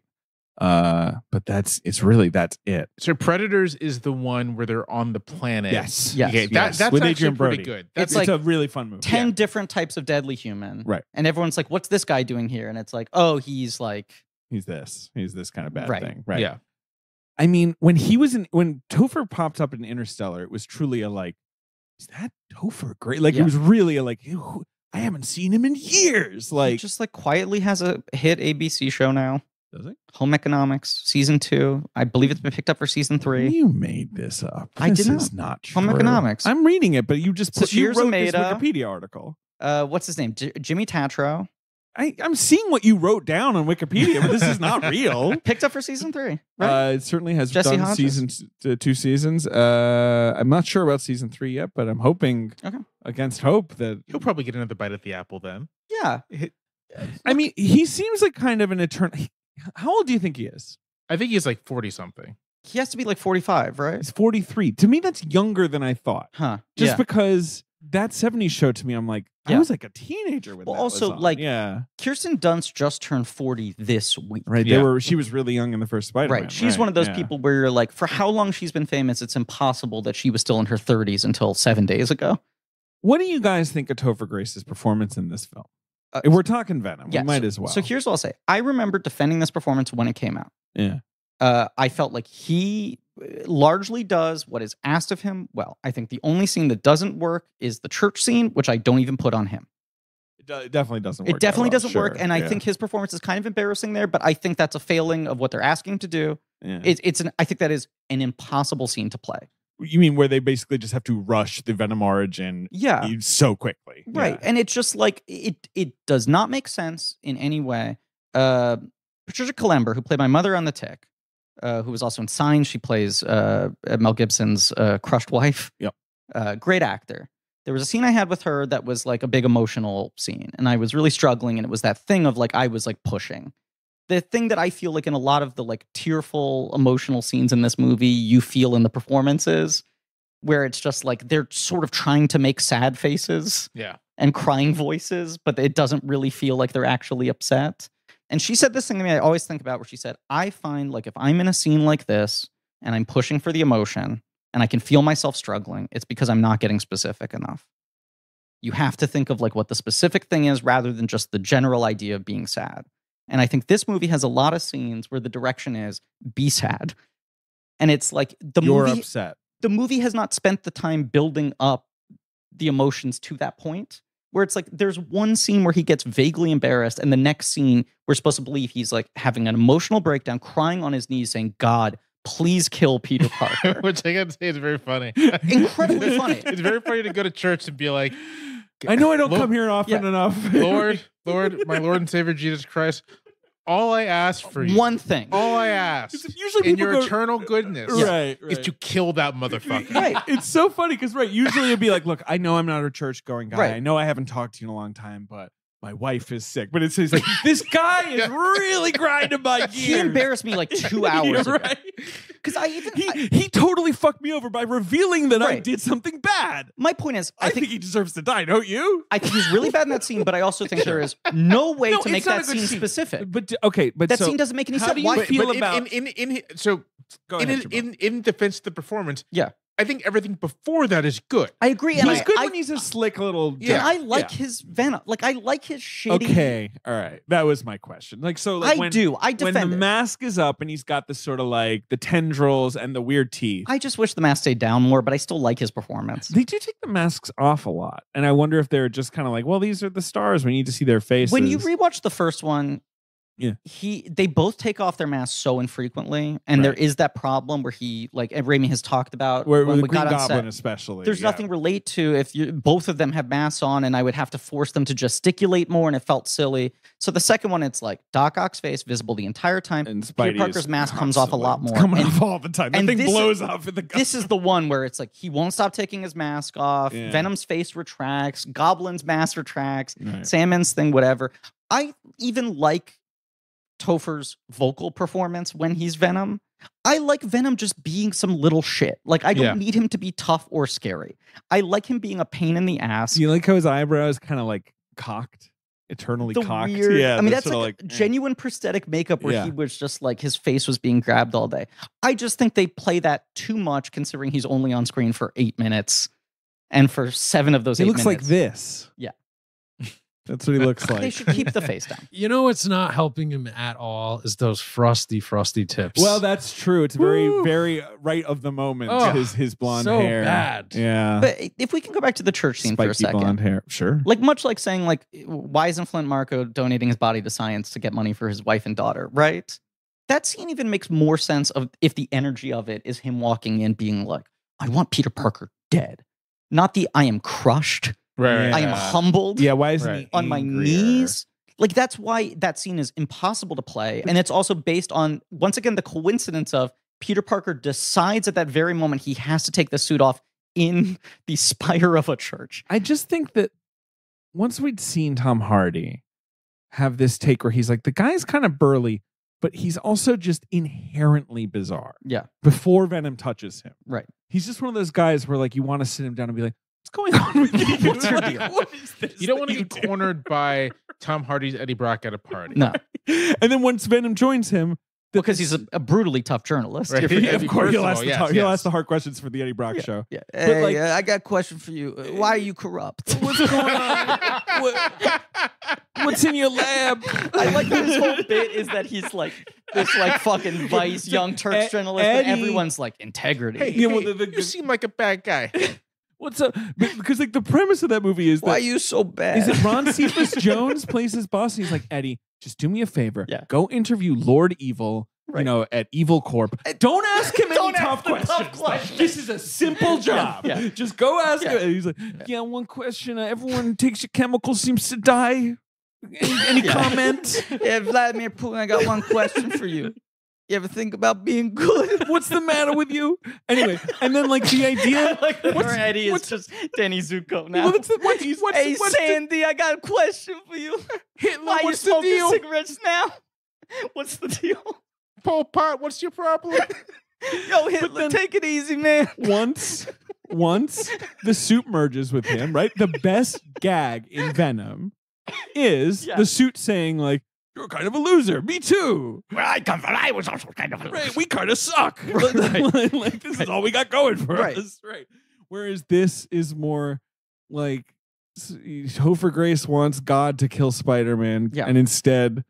Goop lands on him, and he's like, "I'm going to be Venom," and then he tries to kill Spider Man. I think Does he when- do anything else? No, I think when Venom takes over, what He- happens? he could have some fun, right? Like you know, if we're going by Topher, why don't we see Venom do a thing? Here's Right, here's the arc. to be sort of like a, Go a rob a shitty bank. Spider-Man. Yeah, Yeah, Right. go Here's do the some arc weird of thing. Venom as a character. Okay, Venom specifically.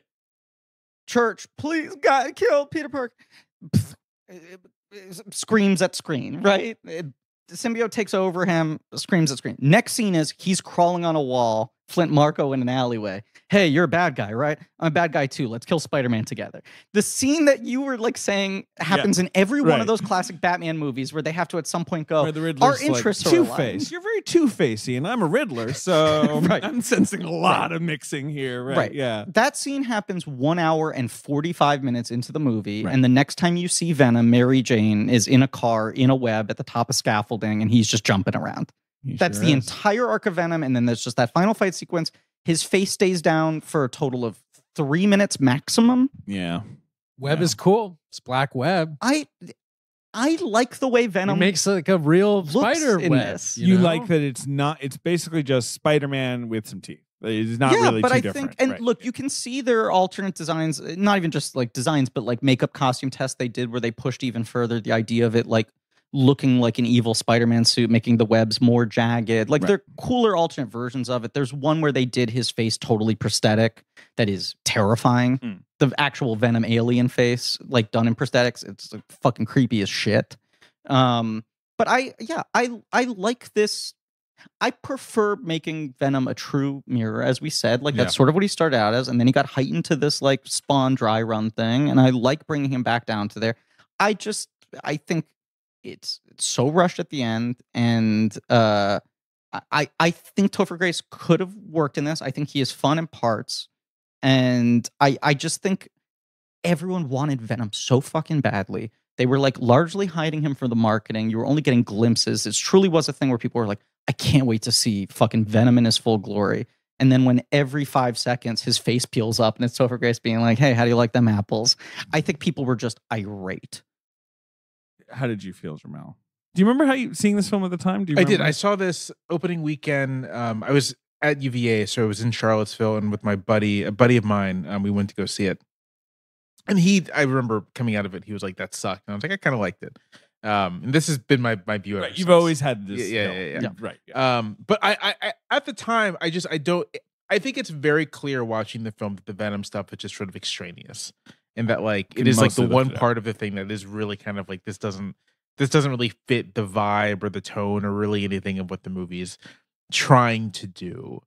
Having said that, I think, we, and you said this earlier, David, the the Venom stuff also is occasion for some of the moments of the movie that I really like. the best so- parts of the movie. so we, we haven't Crazy- talked about it, but sort of like Yeah. the dance sequence. yes. The, the, the whole the, the James Brown sort of like, you know, walk montage thing, and the dance sequence in the jazz club are great.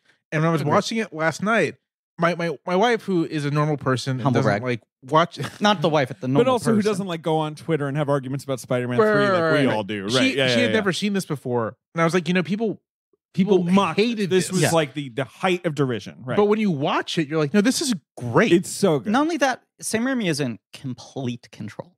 Yeah. You're like, this thing is completely hitting the bullseye of exactly the tone right. It is trying to do. I, I remember Dave Poland, notorious movie when he blogger. does this and the camera zooms into him, it's so good. Or or, Yeah. or you know, when he entire sheds the time, jacket and the camera goes like, "Doom." yes. The entire time, there are two women who are always sort of like kind of in the frame, and Yeah. they're always sort of like looking back at him, like, who? What the hell is happening with this guy? I love it. It's just I remember also feeling my entire audience go like, Yes. "What the fuck?" And then you think that this is a year before Iron Man and the I Dark know. Knight. I know. It's that, that that's Th- their universes apart. I know. that's kind of cra- it, it's. I mean, I, It is I a- don't want to is an distract too much from the movie, but like, yes. it is crazy to think that the next year, Yeah. this is like the end of an era. It's the for a end kind of this yeah, kind of of a like movie. yeah, these sort Yeah. of very earnest, Yeah. poppy, We've- we've got- 60s inspired. Yeah, We've gotten past the '90s, sort of embarrassed that these Mhm. are genre superhero movies. right. These things are powerhouses now. Right. Yeah. Sort of like now it's, it's earnest. It's sort of like trying to be really faithful. And we're just about to get over to this new phase of them being kind of like yes. Totally culturally dominant. These are the two ways you can do this movie now. You can do Iron Man or you can do Dark Knight. And those are the only two options. those are the options. and like the hmm. dance sequence becomes sort of like a tabula rasa of like we have to make sure this never happens again. it, Yeah. it becomes like Batman and Robin level. Yes. Oh God, that was embarrassing. But it right. is yeah, yeah, the yeah. Batman and Robin's strongest- kind of good. Well, Agreed. that's sure. Agreed. I mean, we're, we, we're we're in the middle of that Yeah. on our Patreon. Absolutely. It is like the strongest take Sam Raimi has in this movie from a story perspective is this idea of like Peter Parker is inherently a dork. What Yeah. defines him is that he is a dork with good morals. Sure. There is no evil version of Peter Parker. There's a selfish There's a version dork of Peter with Parker. morals. Right, Sure, Right. There's yes, there's sort of like a quasi incel version of Peter Parker. right. Right. Yeah. And I think people were like, because even the marketing campaign for this movie, even aside from that poster, there was the poster that was him with the bags under the eyes and the hair, and the idea of like, oh, fuck, Peter Parker's going to go bad. Sure. And I think everyone assumed he was going to be badass and tough.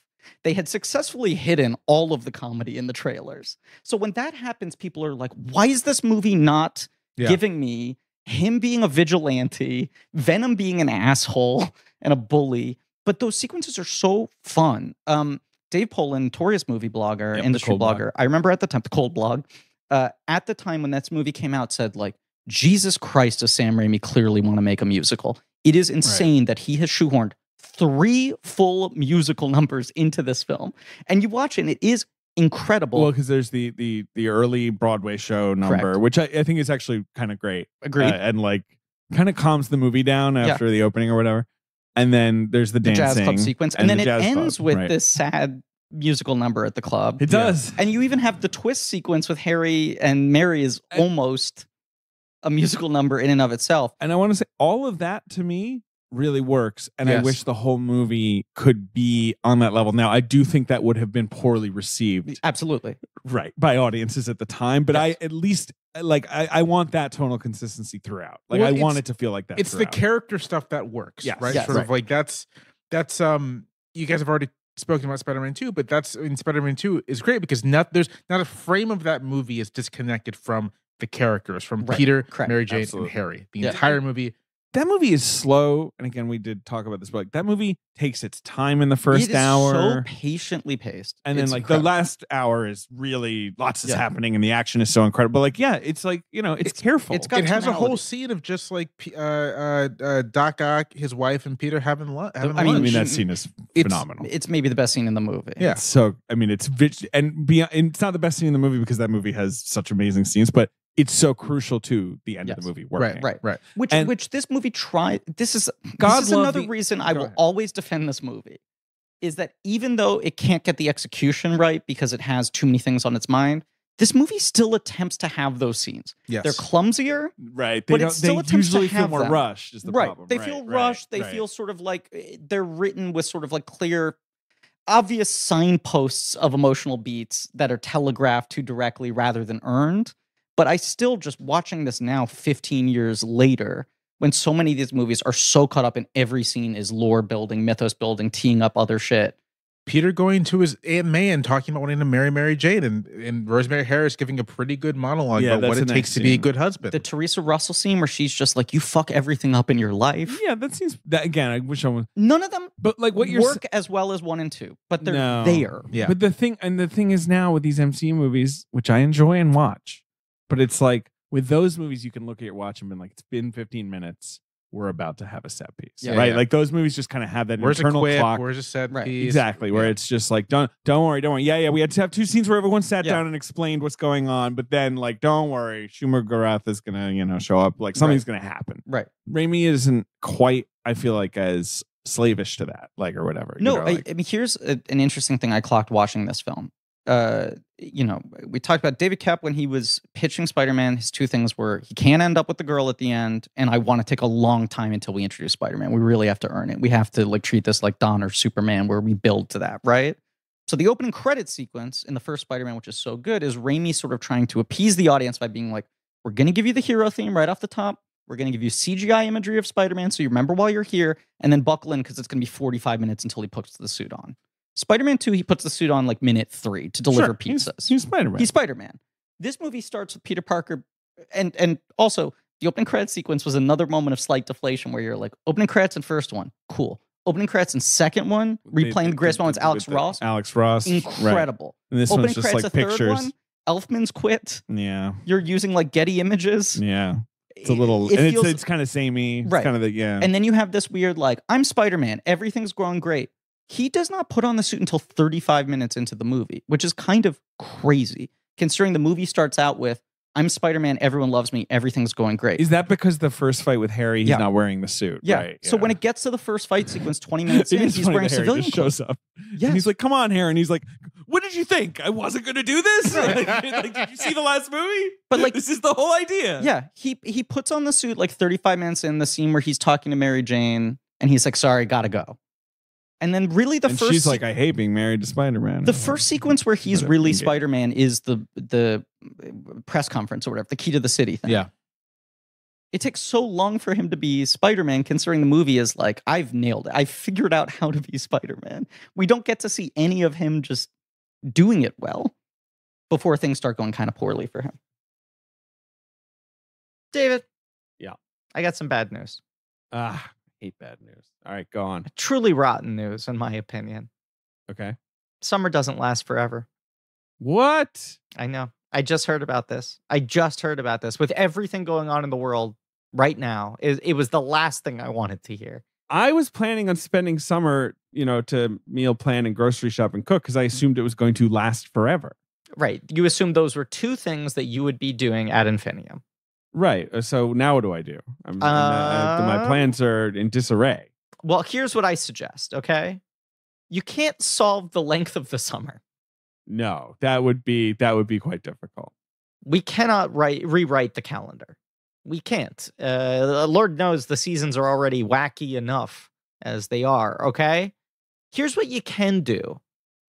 You can use Splendid Spoon to save yourself more time, time that you would have used on meal planning, and instead use that time to enjoy the summer while it is here. Feel great with plant based meals that require zero prep time. Because Splendid Spoon sends delicious, plant based, ready to eat meals and snacks right to your door. That door surrounded by a beautiful lawn. Uh, that, yes, of course, the lovely lawny door. Mhm. Uh, Splendid Spoon's really nice. Uh, we've both sampled the ingredients, Fit the, right the into my daily routine. It fit the smooth right in there. You know, they got some really nice stuff. I'm looking at I'm looking at their recent offerings, but I'm a big fan of the vegetable bolognese bowl.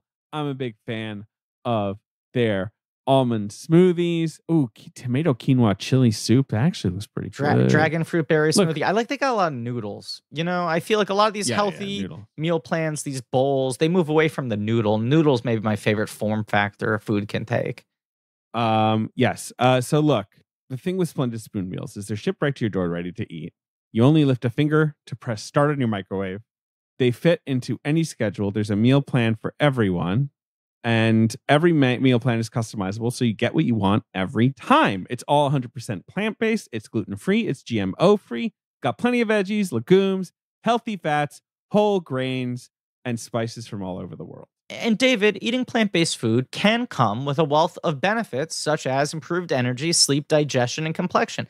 Four things that have haunted me for most of my adult life. Uh, that's great.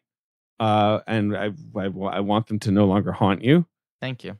Look, you can eat well and enjoy more more of your summer with Splendid Spoon. Get started today and save on an entire week of ready-made plant-based meals.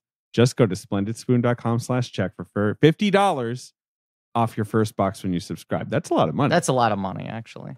That's $50 off at splendidspoon.com slash check. That's like uh 10, 10 five spots or five 10 spots. Both true. So Topher Grace, staunch defender of the film. I know the movie did well for Sony. I know people weren't happy about it. I think Sam is so talented. I remember one time I was on ninth unit. Mm. Ninth unit. It's like he's running a small country. Uh, I'd love to see anyone slamming one of these movies try to fit into Sam Raimi's position. He was like the president of a country, and the movie had the gross national income of a small country. I have huge respect for him. I think he did a fantastic job on that trilogy. So he just, he, you know, who else loved being in this movie though? Who? Bryce Dallas Howard. Really? Yeah, because she was basically just like, one, why are you casting me? I'm Sure. not a blonde, No. and I'm not like I don't feel like I fit the profile of this. They cast a blonde to character. play a redhead and a redhead to play a blonde. She's one of the few This is redheads of prominence in That's- Hollywood. That's a Laura Ziskin joke. My joke is I cast a blonde as a redhead and a redhead as a blonde. well, five comedy points to Laura Ziskin, RIP. Um, uh, but Howard basically, and I guess this vibes with her now, where she Mhm. basically is clearly more interested in making movies than being in them. She, the way she talks about it, she's just like, it was so cool to be on those giant sets, Yeah. like and see uh, the whole collaborative process of making a movie like that. It has always felt like her involvement in the Jurassic World trilogy is more about her trying to learn everything she can Yeah. to get ready to to do the the big dance. um, Which look, her Mandalorian episodes have been great. yeah, she's definitely going to get some big movie. Yeah. She clearly wants to make one, Yeah. so she's gonna. I think that job is coming for her. But like other elements where you're just like when Dylan Baker is cast as Curt Connors in two, you're like fucking great. Again, Great It is job. incredible. the entire time watching the movies with my wife, I was like doing the whole like that's Chappie with her. So, so, so like you know, Dylan Baker shows up. I'm like, that's that's the lizard. She's like, who the, who yeah. who the hell's the lizard? Yeah. Well, But- he's Curt Connors. You but know? like He's- Dylan Baker rules. It's such good casting. And I love the idea of just keeping him there simmering for a little while, having him be like an ally, a mentor that can exist for a little bit. But you're so annoyed that they don't let him do it in this movie. You're so annoyed when you read that it was not part of any plan for four. What were you going to say about him? I was just gonna say how much I loved Dylan Baker in that role, and sort of, it's again you can imagine a future movie or whatever, but like this the thing. Okay, so the thing I like about the Raimi movies is really about how all the villains have some personal relationship to Peter. Agreed. They're not just thing. They're not just like entities that come out of the sky. They're Yes. not just sort of like you know you know malevolent forces. They're specific people who have specific relationships to Peter, and part of the challenge of them for Peter is sort of like I actually care about this person in some and all way. of them are like tragic monsters. It's Right. that thing that No Way Home, to its credit, kind of identifies, which is like, oh, all these guys have like a tragic accident. right. And, And so, ca- is there still a humanity in there we can salvage? and so with with with Curt Connors, Dylan, it- it's sort of it would have been great to have a film where you have that dynamic play again. Here is a Yes. mentor, someone who cares about Peter, and Peter cares about him, and he's has to deal with this horrible thing that's happened to him. And especially when like Spider-Man 2 does it incredibly well, but Spider-Man 2 has to introduce him right. and have him turn and redeem himself in one movie. The idea of letting Baker just hang out there. Yeah. And then the indignity of the second they hit the reset button, they're like, by the way, we're finally doing Lizard. Here's my question, and I like the casting of Dylan Baker, and I love Dylan Baker. Yeah. Do you feel like there's a 50 50 shot they would have made Spider Man 4 and been like, he's still in it? Don't worry, Dylan. We're, we're, we'll, we'll do Lizard. We'll do Lizard. Or were they definitely going to No, do no. Lizard? Everything Raimi has talked about with Spider-Man 4 did not include Lizard. exactly. Yeah, it was So it it's was funny where they're like, and now our new villain's the Vulture. it was Vulture and Black Cat. Bla- Black Cat or Slash Felicia Hardy exactly was going to have some sort of Right. thing, right? But it was it was going to be Anne Hathaway playing a Felicia Hardy type, right. Vulture, and then Bruce Campbell at certain stages was going to play Mysterio. Uh, in a sort of jokey cameo version. it would have been the opening of the movie. Is is him But, like, busting? and it but is th- never ever heard anything about fucking Lizard in that movie. And even he was like, we toyed around with Kraven. Lizard never Right, Kraven was something he wanted to do. And it is so funny because they would have just kept him there for five. you think about it, and it's like at the time the beef that the studio had with Raimi was like, stop doing these fucking boring Yeah. 60s vil- Vulture, an old guy? Like, that's what you want to. And then, of course, by the time it comes around to the MCU, they're like, we're going to do Vulture. Right. Michael Keaton will be playing the Vulture. Like, they- Mysterio, they, are doing all, all that stuff's ones come that- right. around. Well, yeah. I Like, mean, yeah, it, it's sort of it's just because these movies are in this kind of weird in between zone Yeah. where it's like studios don't seem as if they trust that audiences are really going to go for the, the the lame 60s stuff. But by the time we get to the 2010s, it's very apparent that like yeah, you can you can throw like a, a fucking raccoon on screen and people, and like, people will lose good. their minds. Right. But Yes. you know what's most confounding about it to me? That attitude is that, yes, obviously, Venom has popped so hard in the 90s. He is the freshest villain, right? There is a generational excitement about him. Yeah. He's, he's got a bad attitude. But as Ben is illustrating very well, all these 60 villains were still on the cartoon show that was incredibly Absolutely. popular in the 90s, yeah. They're in the comics. They're in all the video games. in the video games, Right? hundred percent. So, like, if you're a kid watching at this point, maybe Venom is like the the hot new, right, dude? But like, you're, you're- still familiar. You're with- familiar with the Rhino, with Scorpion, with all all those these guys. guys. yeah, I think the reason that Vulture really got on their nerves was that he's an old. Raimi was like, "I'm so I'm looking at right a bunch of guys Right. in their 50s and 60s, and they were like, I swear to God, like we told you, millennial villains." I, Like, I believe, right. I, I mean, eh, perhaps this is apocryphal, but I believe I've heard an interview where he did confirm this. That like at one point, Sam Raimi took a meeting with Larry David, and Sony was like, "Fucking stop I- it!" that definitely 10 is out of 10 I mean, best picture. it would be Would so have good. watched That would have he watched, did the meeting with Larry David. Larry David was like, "Why would anyone?" would have I gone to the never, What movie four talking times about? in Yeah. theaters. yeah. Larry David Vulture, perfect. But Perfect Sony was like, absolutely not. If it's an old guy, it has to be an old guy who has been nominated for an Oscar. I don't. I don't know. I you don't not think finding this any is evidence of I'm this? only finding like fantasy casting stuff, which I love it. I feel like I read something where he was like, I mean, it would be great. Obviously, which this they did not do with Keaton. But the idea of the Vulture usually is that he's an old guy who like is trying to suck out your energy to get Yeah. young again. Right. Like, which, but they never did that with Keaton. No. Instead, he was just a guy. he salvages parts. Yeah. he was like a, you know, he was an Attleboro Trump voter. He was like a Trump guy, where he was yeah. like, "Look, I'm just a blue collar guy," and it's like, "Aren't you like a millionaire?" And he's like, Forgotten "Shut American. up, I have suit."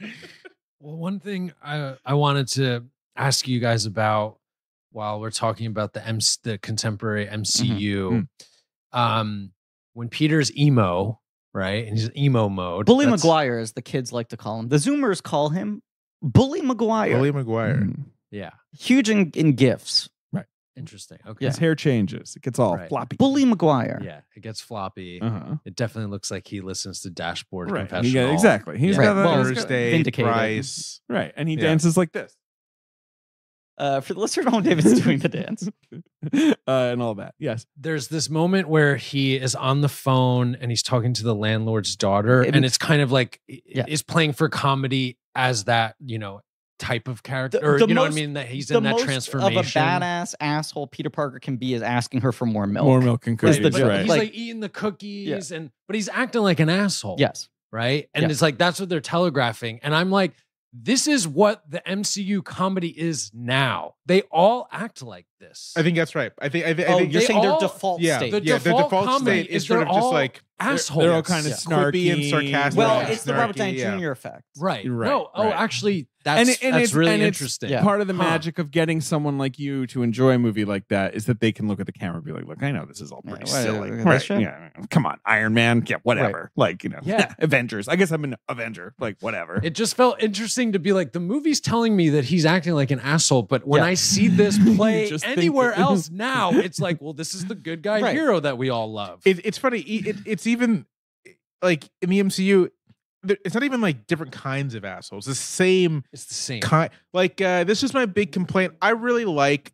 Uh, I, I like that first Doctor Strange movie quite a bit. Same. But what I do not like is how uh, Stephen Strange is just uh, uh, Robert Downey Jr.'s Tony Stark. It's the single biggest problem with that movie. It's, Yeah. and and I will say, I think Raimi kind of correct. right, we we were talking about this after Strange too. Like I do feel like he's settled quite well into the role for that, and I do think Raimi's a part of that. Because like Yeah. I thought he was better. it's way less of the like I need to be Robert Right, Downey yeah, Jr. 'cause, like, I thought he was better in Infinity War and then worse again in No Way Home.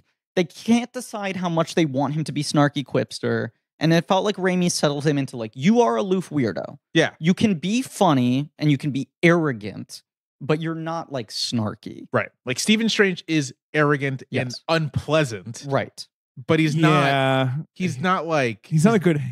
No. Yeah. But I, I Like think yeah, yeah. No one would willingly Yeah. spend time with. Yeah, Stephen why would you hang out with this Yeah. guy? I have complaints about the movie, but I think like yes, eh, eh, I think he's actually really good. In the Multiverse movie. of Madness gets that right, and it it is funny that in when this movie is playing in theaters, Ben, people are like, "What the fuck am I watching? The evil version of this character asks for more cookies." And you're watching Again. for like From this is the Ursula, who status just- quo of all characters. Poor Ursula just wants just wants to hang out with Peter. She just likes him. I love Ursula too. I know. I mean, it's nice that she comes back, but right, she really doesn't get enough to do. Can but I at ta- least she has a little moment. What? can I talk editor's cut for a few moments here? Of you course, can yeah. in a second, but Okay, wait, I yep, want to yep, first no, give you talking about the dancing since we're on Yeah. it. Esther Zuckerman, friend of the show, The great Esther Zucker. recently published. Have you read this yet? The I just- uh, I- I oral read- yeah, I history read of that, the yeah. dance sequences in Spider-Man Three. Yeah. uh, where she talks to Marguerite Derricks, who choreographed the dance. But of course, her main job was choreographing the big jazz scene, right? Like that's the major dance number. Did she choreograph the Broadway number? as I well? think I so. guess she just walked downstairs. in Right, that. but her Okay. main that exactly she's brought on board to do choreography, but obviously the centerpiece is the Sure. whole jazz sequence with their, you know, uh, where they're the club. Which, once again, just a thing you cannot imagine if the director of your third superhero movie comes in. He's like, by the way, we really need to bring choreographer in for this. I have a huge dance number planned. but hey, man, you've done two hits. Yeah.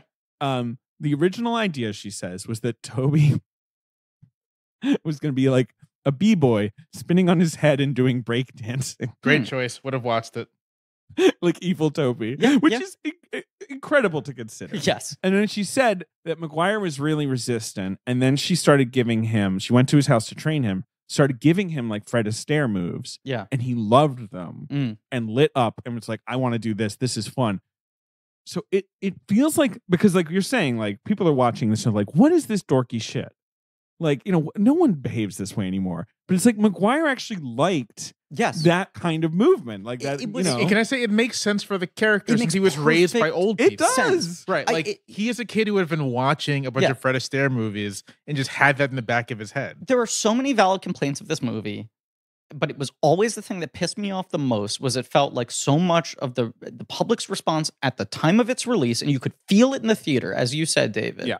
was this sense of like what the fuck is tobey maguire doing does he think this looks cool Right. and that it felt like no one was giving tobey maguire credit for being funny that they assumed he was failing to be cool um which it's Right, like right, right, it- right. he's he's a guy who's stuck perpetually in this weird 60s version of america raised by old people with very simple values like of course he doesn't know how to fucking be sexy there's there's a tiny moment when he goes into the club with gwen stacy right which is just like such an unappealing asshole thing to do his whole attitude of it her going like you're isn't that your ex girlfriend? Don't you not want to be here? He's like, no, no, it's fine. I got this figured out. But there's the moment where he goes over to like the hostess. And he slips her some money and she gives him this look of sort of like yes. yeah.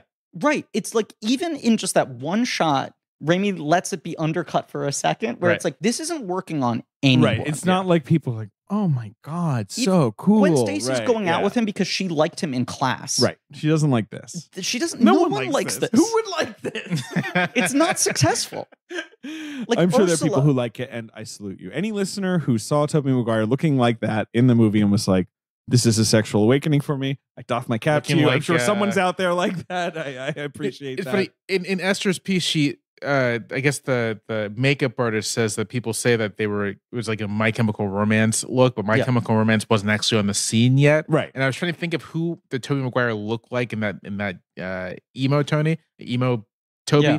He looks like Julian Casablancas from The Strokes. Very good call. Oh, yeah. absolutely. Yeah. That's sort of right. You know, the, especially the languid Yeah. hair. But that, the- that really yeah. The bags under the spook- eyes. The bags Right, under the- the hair where she's a- dangling on over Right. one eye. Right. She also says like, "There's not eyeshadow. Like Yeah. people think he's wearing eyeliner or whatever. He's not. I just made his eyes look really sunken. Like Yeah. I, I tried to make him anyway. Yeah. Talk about the editor's cut, which I've never watched. Is it on the disc?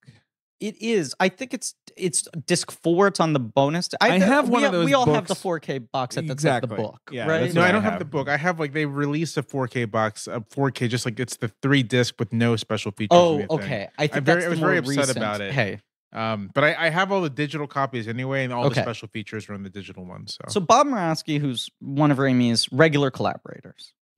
Through to Doctor Strange. I, I don't remember which ones he didn't work on, but has worked on a number of the Raimi movies. Yeah. This movie comes out, Raimi's sort of very quickly like, it got away from me. I'm apologetic. When he's talking about wanting to make four, he's like, I know I fucked it up. I have to prove myself. There were always things that were like in the trailers that weren't in the movie, things that actors would talk about having shot, stills that came out, and they'd be like, you know, as often is the case, eh, like the fucking images that exist of like the quote unquote Schumacher cut of Batman Forever, fans want to believe there is a cut of a movie that fundamentally solves it and fixes everything they dislike. right, and then about it. there are things like that Daredevil cut, right, like which is like one of those classic things where I'm like, yes, this is better. it makes it five percent better. But like, the, It is now everything I don't like about this movie. good. Like the actors are still Right. in it or whatever. Right? Right. It's like some of this is unfixable. Yeah. Right. So I think, especially people who thought that this movie was too goofy, assumed there was some cut that could salvage it. Right. Right. Um, like ten years later, 2017. I guess it's when Homecoming's coming out. Sure, that sounds right. They Yeah. re-released these movies on 4K for the first time, and there had been this rumor of like, is Sony doing an extended cut of Spider-Man Three? There's the 2.1 cut, which is not good, which actually makes the movie worse. Which is horrible. yes, I do not watch it ever. No. So what's what's different about the 2.1 cut? It's so bad. It, It it adds, includes like, that stupid scene with Jameson scenes. wearing the um the suit yes. And like yeah. It throws in deleted it scenes. fucks up the timing. It stretches out the house sparks and the elevator thing for an additional two minutes. Like it, it just it, it adds in a couple weird things, but also ruins the perfect diamond cut timing of a couple things from the original movie. Right. It absolutely is just eh, emblematic of the pox of every movie needs to have an unrated, out of control cut, and there was no unrated cut, so they were like, it's just longer now. And the the J. Jonah Jameson scene is a scene that Sam, like Raimi himself, admitted we thought was funny on paper, and then when I watched Just it, I was like, this isn't funny. Right, right. But anyway, the Spider-Man, the editor's cut of Spider-Man 3. Right. There's no director's cut, there's no extended cut. And I think Raimi was just like, I'm so haunted by this Not fucking interested. thing. Right. I yeah. don't want to touch it. And at some point, there are these rumors of like Murawski might be working on a cut. There might be someone trying to like restore some sort of vision of the thing. And then like a month before that 4K box set comes out, it just goes up on Amazon. It's like rentable on Amazon. Right, you can just right. It just and it's not longer. If anything, it's maybe It's a a couple minute minutes longer. shorter. Right. Yeah. Okay. It's or a minute shorter. It's but a it- different It swaps out a ton of stuff essentially. alternate takes, Right, a bunch of different things. But it goes up with little fanfare, then it's a bonus on that disc, and it's sort of like never got a ton of attention. And because it was an editor's cut, people were like, how valid is this? And he's been very much like, look, I just think there's a better version of the movie than what we had to rush to put out. I tried to salvage it. This represents my opinion and not me trying to restore Sam's Right, idea. And he edited Doctor Strange, so it's not like Sam and he No, had fallen out. right? Absolutely. But a lot of alternate takes. It adds a couple things. It cuts a lot of the worst scenes out of the movie. Right. Which I will go over. The other thing is it like has a pretty different score. Mm. I think Christopher Young's score was like redone a lot, and then Sony came in with notes and added it said we want this emotion instead of this emotion. There was a score that helps settle the tone of the movie a lot more and makes it feel more cohesive, as do the sort of alternate takes in certain cases. Two huge things that are cut. It cuts the entire Butler scene. Good. It's a tough scene. The worst scene in the movie. It's- it's It tough- doesn't help. This maybe is very superficial, but it doesn't help that the butler has like this flat Midwestern accent. Do you know who the Butler is? It's um Bill Bill Paxton's dad. Yeah, Oh, that's funny. I didn't know that. but uh, if the butler every time he every time he shows up on screen and he's about to open his mouth, I'm like, oh, he's gonna have like a, like a re- received pronunciation, Right. and then he's like, Master "Hello, sir. but then he's like uh, Harry. Yeah. Listen to me, Harry. Harry. For people who don't remember, there's a scene where the butler, at the end of three movies, essentially decides to be like, eh, "FYI, I've been here the whole time. I knew the whole thing. I never said anything. Right, your dad died on his Yeah. own glider or whatever. Right. Spider-Man didn't kill him. So in Spider-Man 2, Otto Octavius is trying like he just runs through all the scenes that Harry wasn't there for. Um, they cut that scene out entirely. Uh-huh. The way that moment plays is Peter comes through, makes the plea to Harry, sees how scarred he is.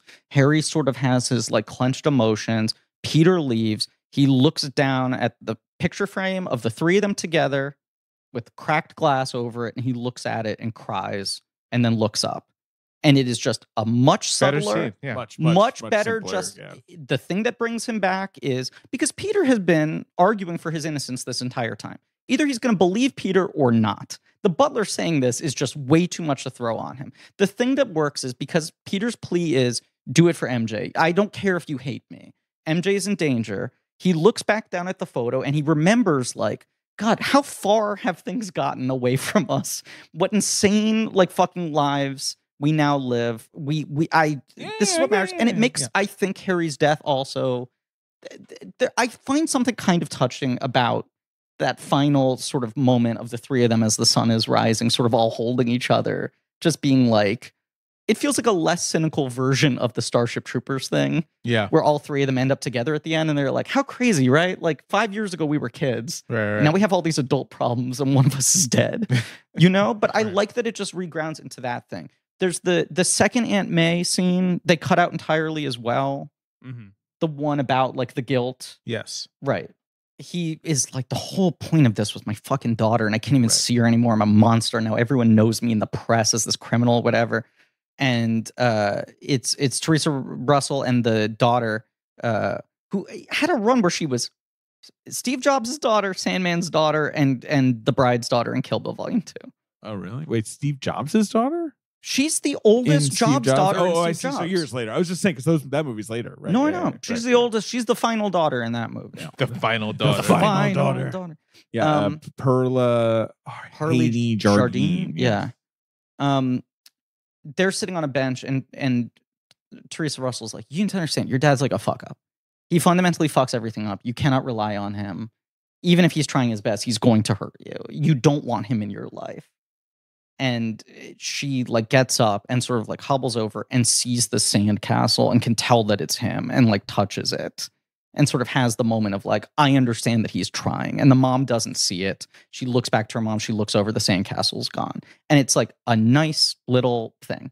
There are just some little character moments like that that they reinstate. There are the clunkiest, sort of overwritten scenes they all take out.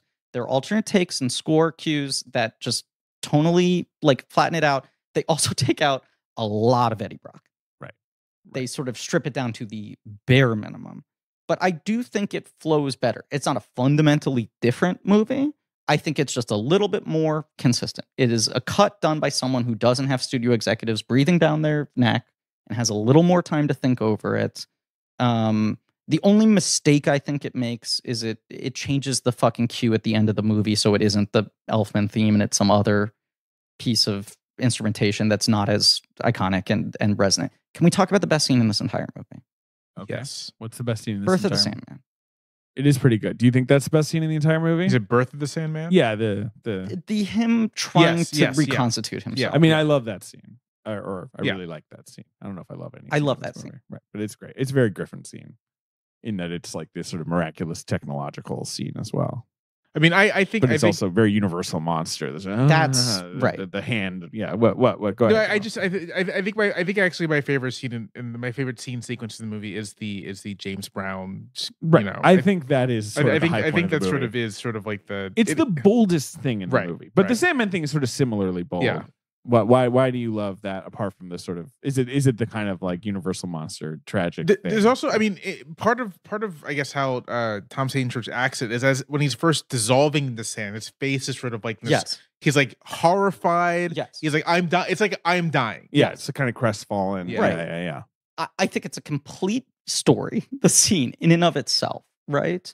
The fact that like it speaks to the sort of Raimi at his best, his sort of incredibly clean expressiveness. That the scene is driven by a character who is struggling to even be able to uh, create recognizable human uh, expressions. That you're like projecting these emotions onto a, a pretty formless mound of shit Yeah.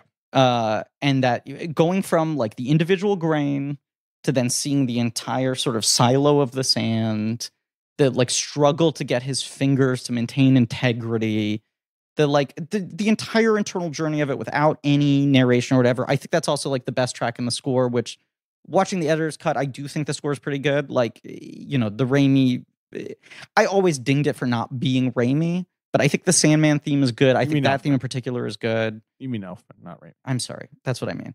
But there's uh, this uh, Anthony Lane's review of this movie when it came out. Okay.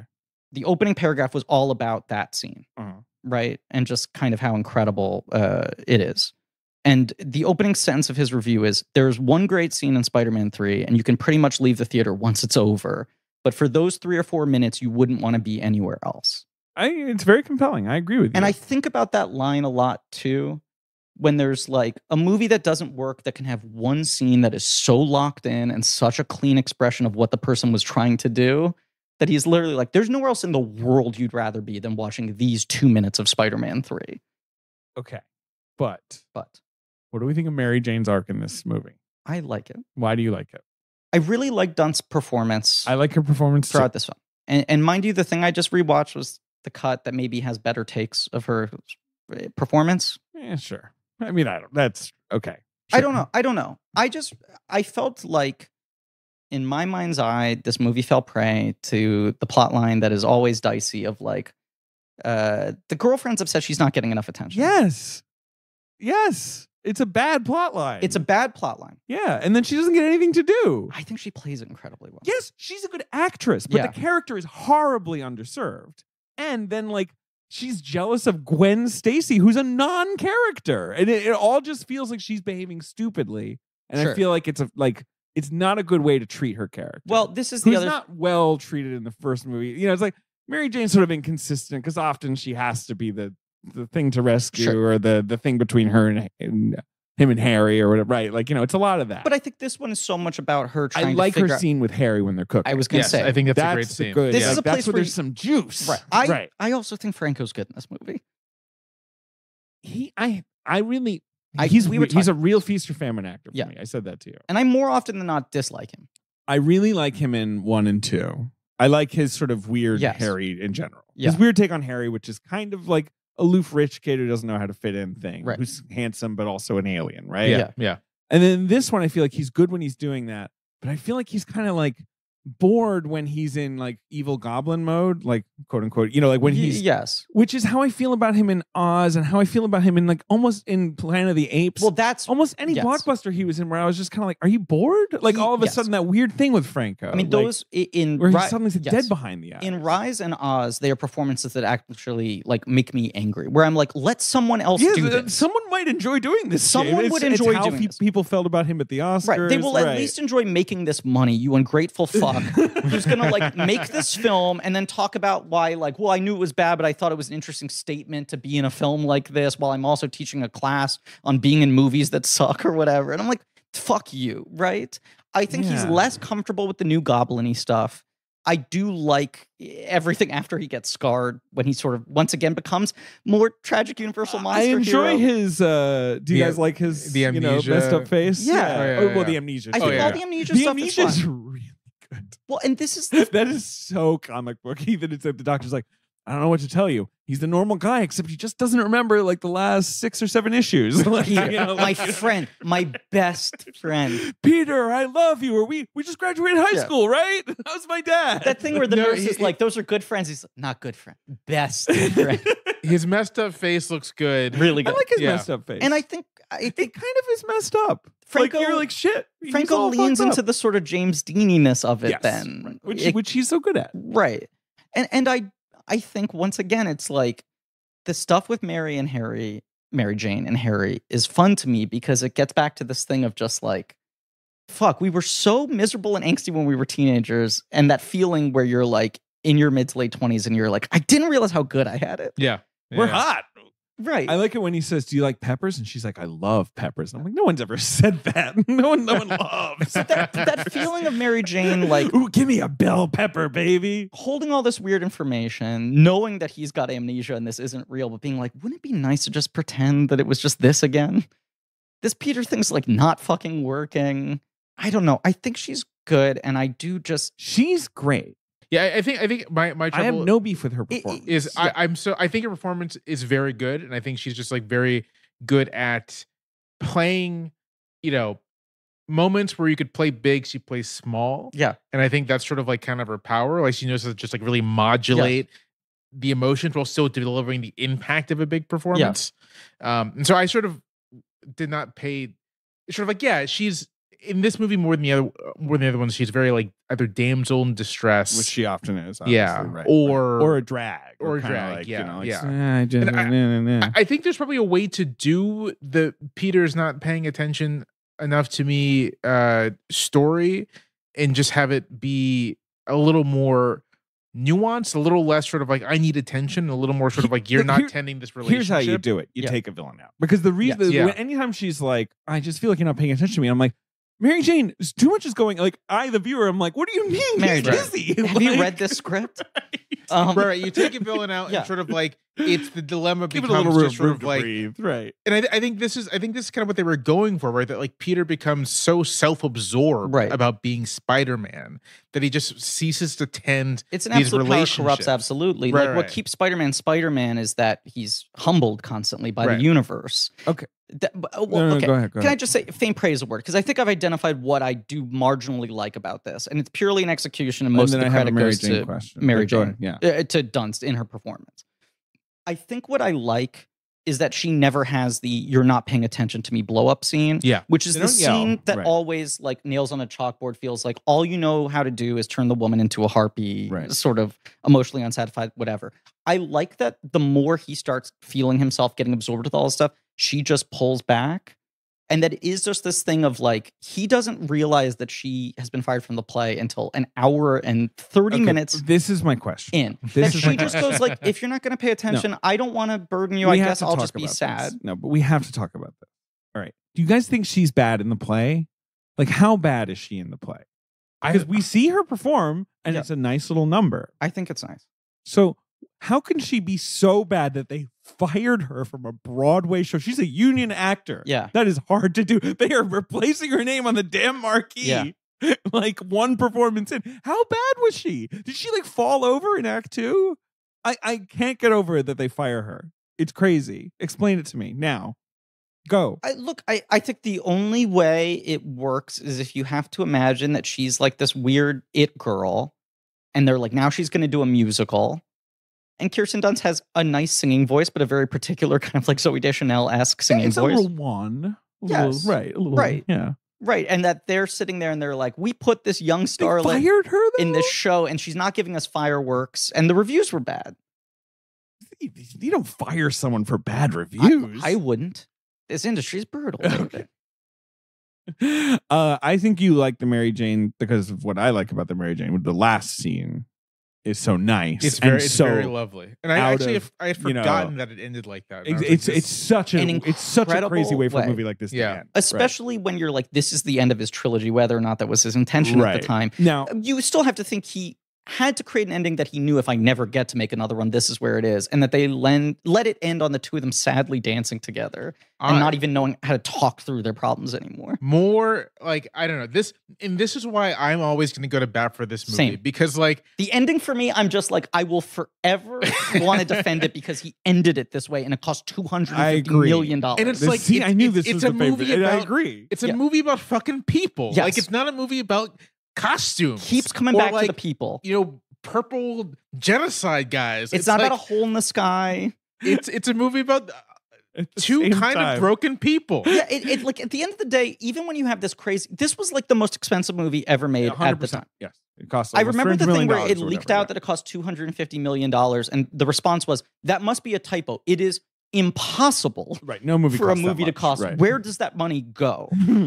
And the fact is, like, even when you get to this crazy end set piece where you have like seven characters all fighting and scaffolding, it comes down to like four different apologies need to happen. Yes. Right? Right. The resolution of every plot line is like, you just need to tell that person you're sorry about this. Right, They true. need to know that you're aware that you hurt their feelings. and then you're gonna defeat him with church bells or whatever. Yes. It's, it's fine, or, or you know, banging sticks together. solely apologies. God, the, the Venom death, And then it he- ends with like a quiet, a quiet, sad A dance. quiet and the, sad and, and the ending is so good, and yet at the same time, I do kind of remember being at the multiplex Yeah. opening weekend and it ending like that, and everyone being like, "Okay, I guess we'll go." Like you know, like Right. you know, like certainly the audience was not leaving being like, "Yeah, Spider Man!" like we were. in all well, but it's it's a Raimi threading the needle thing. I mean, it- you know, eh, another issue with this film is that one exceeded expectations, right?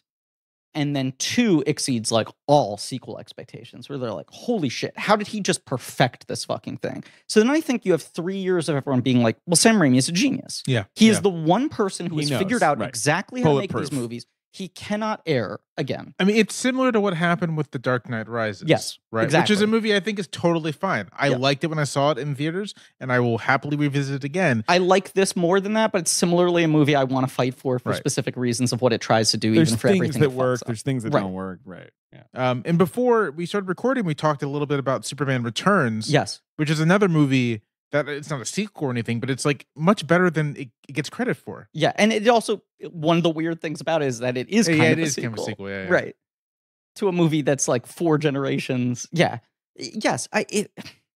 That's it- that's like the whole thing for me is that he still is.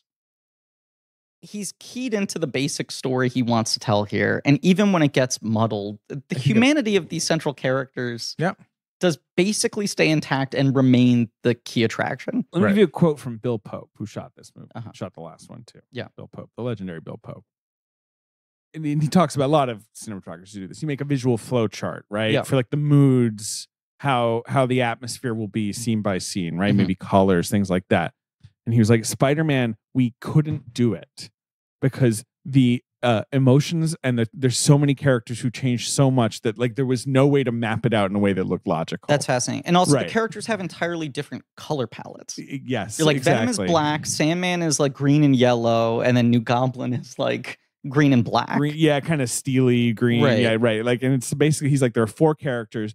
They're going either from light to dark or dark to light or light to dark to light or whatever, Right. right? But they're all doing it at different times. They're all doing it on different tracks. You have night sequences, you have dawn, you have dusk, you have morning. the score Yeah. keep and also the script will keep changing. You Yeah. know, like the way he describes it basically does seem to be like new pages are coming in every day where it's Yeah. like, no, no, no, actually the Green Goblin thing's gonna happen over here now or whatever. So I do this is that's all the problem. I agree with you what you're saying. The three main kids, there's something there. Yeah. But everything around it is so noisy in this movie. Yeah. I just think, look, I, I- I'm not going to tell you to do it today because I certainly Or to uh, watch the editors. I'll watch the editors. I just think it's an interesting spin to give at some point because I think, aside from everything else, it, it reorganizes some scenes in a better order as well. It just makes it feel a little less manic. Does it have Venom dive into uh, the bomb to get back into the suit and turn into a skeleton? Yes, I do like that. I like that too. I love that. I, but why I like that is because it does feel like Sam Raimi being like, "Don't ever fucking ask me about Venom again." Yeah. Because initially it seems like, "Oh, Spider Man's gonna blow up the suit, but Eddie Brock will survive, and Yeah. we can have a little post credits thing where it's like, oh, there's a blob left." And then Sam Raimi's like, "No." Eddie Brock dives Yeah. in, the whole thing explodes. Right. No more Venom. Right. It- the You fundamental. made me do this, and I'm not doing it anymore. He refuses to apologize. He refuses to take responsibility. Um, that that's another thing that's reinstated back into the movie. There's like a montage of like black suit Spider-Man killing it, which was a bunch of stuff that was in the trailer that Yeah, they, they should have animated. That's that. really expensive. because like you need that. yeah, I know. It's like weirdly missing, and it's in the editor's cut, and it, it helps the movie. Um, uh, well, one thing I want to tell you about in the research, well, the sand, right? They shot a lot of real sand. I guess I didn't know that. Yeah, the thing I remember reading, I don't know if JJ pulled this up, was that they like i- this this was such a like tech breakthrough was to try to do the particle physics of Sandman, which are a lot easier, I think, to, to do these days. But that they like studied so many different types of grains to figure out what the best one would be to Sixteen types of grains, and they would mix them. And the basic like backbone of this ended up being like ground up corn husks. Uh, Ground up corn cobs. I think that was Right. for understanding how it affects the body because they were like, we can't Yeah. bury someone in, sand, Right. but we need to bury someone in something. right. So they did that. But the CGI is also sort of emulating what those look Yes. Yeah. Uh, and then the symbiote, obviously, I, you know, who cares? I feel like the challenge is how it moves. I like how it moves. I do too. I It- like it, sort it has, spindly, webby. It has the also the vaguely deadite esque like yeah, herky sure. jerky movement, which I like. Uh, and um, uh, and yeah, the other thing, right, in the research that we haven't mentioned is Danny Elfman. You mentioned obviously Danny Elfman didn't do it, Yeah. but he didn't do this movie because he found Spider-Man 2 miserable. Yeah. Uh, it's like my connection with Sam got severed.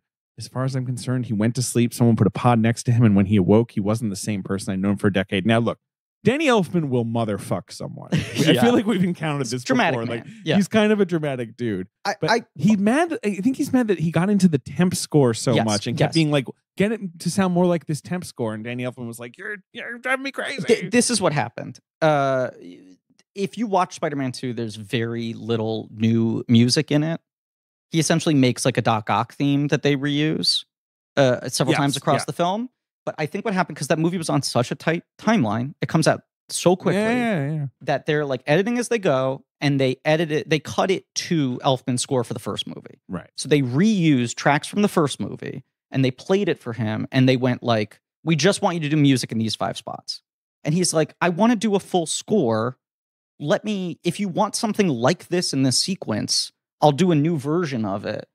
And Raimi was like, "Okay." And then when they were re-recording, he was like, "Just do the exact same thing again." Right. So Raimi like wouldn't let him do new music and essentially married him into old tracks. Like the sequence where Peter's testing his powers out again Oh, we too. That, we'll right, talk about that. right, Exactly. Um, But but that that's the crux of the thing there. They reconnect on Oz. they they're they're right. They, and they figured it out. yeah, so whatever. fine. But he hates them. But Briefly. I, but I do think the young score always felt a little we have Elfman at home to me. yes. and, and the editor's cut, I do think when you hear his full version of it, it's better.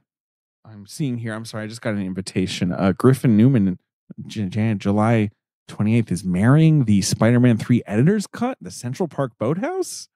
What It- is this? Look, it's just it's R- wait, my RSVP. Yes, I will attend. Paperless post. it's not as dramatic as like chicken or fucking fish. swing shift or something. What kind of fish are we talking about? I- sorry. just big old plate of sardines right.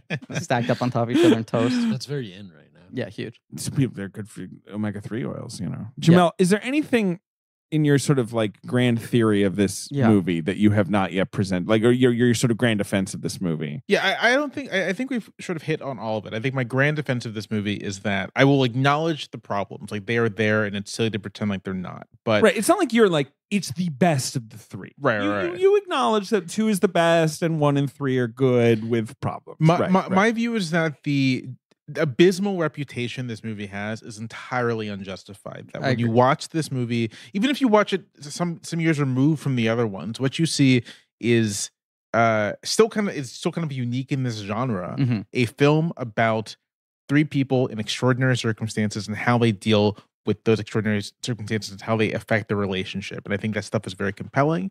I think that uh, it remains a, a through line through this movie. I think that even if the even as the point you've made, Griffin, a number of times, even if they're never fully able to really kind of connect all these villains to, together in this movie, that there are elements of each storyline that really do work and really do tie in to what Raimi is trying to do with these three movies.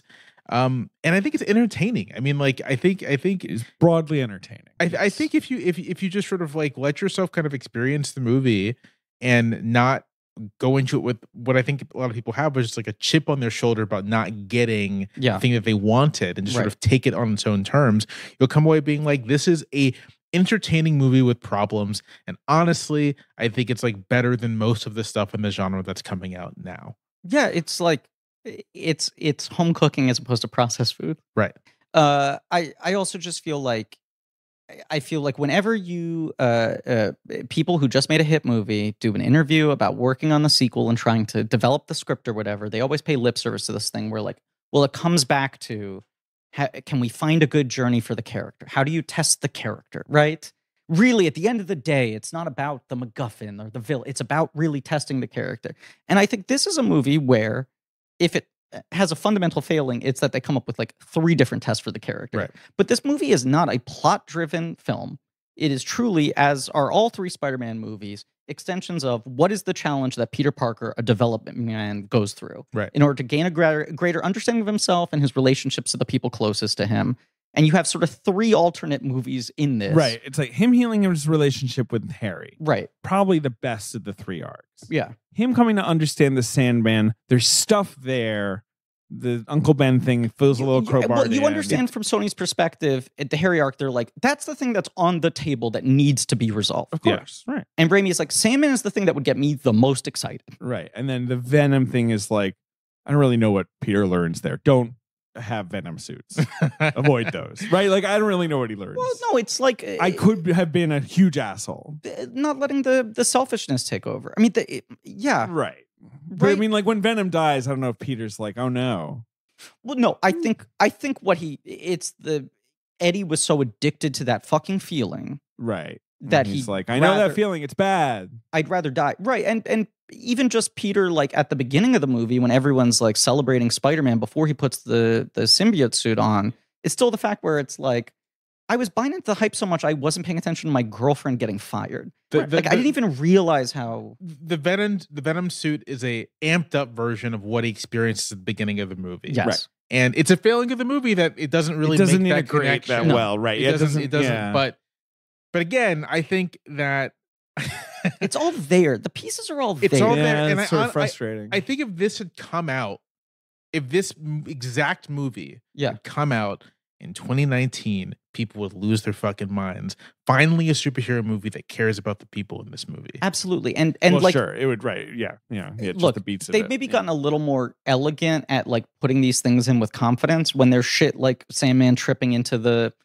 the you know the silo or uh the uh, symbiote just happening to land there this movie feels kind of embarrassed and shrugging them off and they're like what are we gonna do it just Yeah. we gotta get we gotta get through Well, and this also right it just has no time, like you say. It's just got Exactly. right? Yeah. i think something like no way home is as sweaty in the connections and the So sweaty. coincidences it Yes. makes Insanely, but Yes. it does it with a certain confidence now that all these movies are like, you understand, we just have to get through this. Like the fact that the thing, it, Peter needs to reset the universe because he fucked up with the college admissions advisor. Yeah. And the thing that makes him realize to go to Doctor Strange is that Halloween decorations are still up and Dracula kind of looks like, like shit like that. You're just like, this yeah, but do you know what that movie has that this does that none of these movies ha- is that Peter can be like, "Come on, Doctor Strange, I'm sorry, I gotta do this thing," and Doctor Strange looks at him and he's like, "Yeah," and you're like, "Right," because they like fought an alien together. Right. That's what those movies have. Yeah. is that Benedict Cumberbatch can give him a look, and you're like, "Well." It sucks. I know about the long much bit. history of these characters, Right. And it papers over over nonsense, Right. Well, and Which also, is Doctor Strange I being like, "Yeah, it's a brief little spell. Who cares?" it papers over the fact that the emotional beats in that movie are entirely derived from stuff correct. like 15 or 20 years cashing earlier. in on 100%, history. right? Like Right, it's, right. it's it's it's it's it's a pure cynical nostalgia play. Yes. And I mean I get why people like it. It's I'm the not, sweatiest movie alive.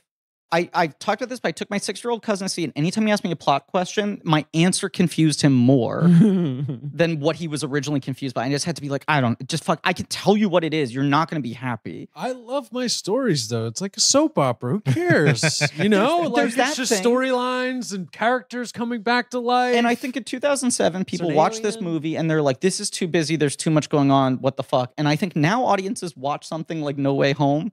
And when there's like some sweaty rush plot development, they're like, well, of course, because they have to set up seven other characters. I Right. understand they need to do that. I mean, it, there's it- this sort of cynical acceptance of like I'm fine with seeing the gears of the story machinery yeah. if it gets me to the end point. If you ever have me on for like a DC movie or whatever, I will go into a whole rant about this exact thing about how viewers have turned themselves into like mini studio executives and how it is. It's like I feel like it. I spend too much time on TikTok, and there are so many TikTok videos of people basically doing well. You know, people say this movie is bad, but what you don't understand Yeah. is it's setting up X, Y, and Z, and that's why it's actually good. And the executives are geniuses, and it's like I don't know what the fuck is wrong with you people. This movie isn't setting up anything. uh, Anything. as much as really. it doesn't seem like a definitive end to the Raimi Maguire Spider-Mans, the only thing it's setting up is just like, and Curt Connors is still just there in the background. But like as opposed to two, which ends with Mary Jane picking Peter, Lots of finding Harry finding the yes. thing, right? All this sort of shit. It's not setting up uh, anything, and I, I, I do just sets up kind of a Sandman movie, I'd say. yeah, he's out there. I mean, being yeah, just, he, he blows dusts away. he blows away. I He mean, where away where the does the wind. wind take him? That's all I'm saying. Um, one other final complaint that I have is like I don't the Sam like there's stuff like the the Sandman creation that's bravura, Mhm. but the action is sort of not like as next level as it feels in two. I think this is very much uh, a case of them reaching beyond their means. Like even with the biggest budget in the fucking world, it's weird that the this- visual effects weirdly look worse in some ways, like you- some of the swinging and stuff. Do you know what I think it is? If I can try to explain this very quickly. Yeah, So so often when I watch the Corridor Crew videos, it's just he, what he means is he's going to take a while explaining. I'm not. I'm not. I'm not. That. I'm not. He, okay, go ahead. there'll be things where they'll show a scene, and it- it- very often now they'll have like the actual VFX person who worked on the Sure. movies. They'll be like, They're our guest today is a guy from Weta, and we're yeah, doing yeah, seven yeah, of his most yeah, popular they can movies. get the guys right. So they go, so how do you do this sequence where the guy deteriorates into sand? How do you make Thomas Haden Church deteriorate into sand? And their answer is almost always the whole shot is CGI. And they're like, really? And they're like, you get to a point where if you have one live action element and everything else around him is CGI, Right. the live action looks worse. Yeah. And it actually is better to just use the thing you shot as reference and just scrap it and recreate the entire thing with CGI. Or at the very least, what they do is they like build a 3D model of Thomas Haden Church and they take the still image that they filmed of him and they wrap it around. Right. Right. And this is a movie where the compositing is still like two dimensional, where they're like 3D environments with 3D effects, and you have Thomas Haden Church in like a three day subway station with a 3D train car, and uh, it's, it's 3D, I'm sorry, CGI, subway station, train car, sand. And the only thing that's real is Thomas Haden Church. And what they're doing is truly the color form of just like, and just cut him in here. And it does make things feel more disconnected. Like, I think the pure Spidey CGI Venom shit looks good. And I think anytime there's a human face in a shot, Yeah. it feels more disjointed. All right. I think I agree with you. I mean, yeah, there's just something off about some of the Agreed. Yeah. They're they're overreaching. and right the Octo- Doc Ock fights are so perfect. Anyway, this film came out May fourth. It made 2007. Made 336 million dollars. It made 900 million worldwide, It was the highest grossing film of 2007. and it was the highest grossing Spider-Man film until No Way. No, no, no, sorry, Far From Home. Maybe like you know. Worldwide, yeah, finally, it was beaten by Far From Home. yeah. I think that's it. Yeah, No Way Home is still the first one to beat it domestically. right. And like so, like it's not like it wasn't successful. No. but it is that kind of classic thing of like everyone involved also kind of knew like hmm, we did definitely lose some public trust on this Was the opening weekend was 160? the opening weekend of course is going to be told to you by me Yeah. now right. and the answer is 167? 151 151. Okay. But it breaks the Um, record. i guess so but because dark knight breaks that record a year later with Yes. 153 or Right. something right If I can just leapfrog for a second here, this was the month where they were like, is this going to cannibalize the industry? You have three huge trilogy enders all coming out like three consecutive weeks. Right. Where it was Spider Man 3, Pirates of the Caribbean 3, Shrek 3, all came out in May.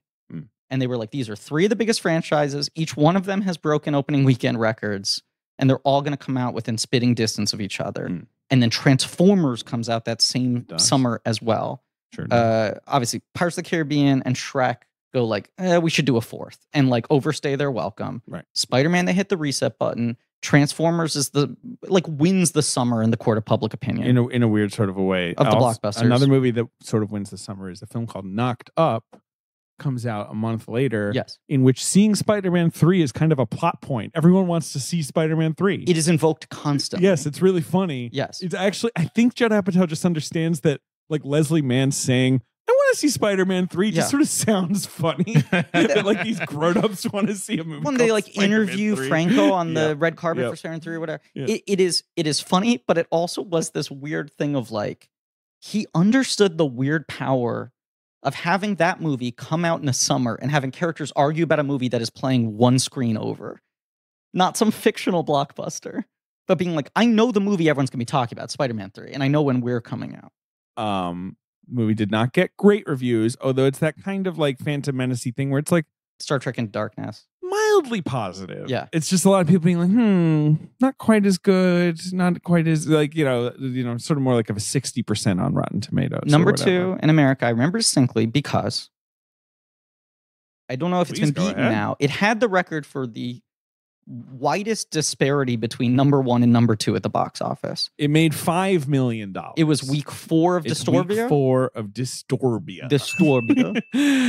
disturbia dj caruso's Right. disturbia is number two at the box Disturbia, office. surprisingly successful, and then everyone knew Spider-Man 3 was coming, so no one released anything of note in the three weeks leading up to Spider-Man, and Disturbia just kept on pulling down very small number ones. and did well everyone was happy with disturbia Summer of Shia.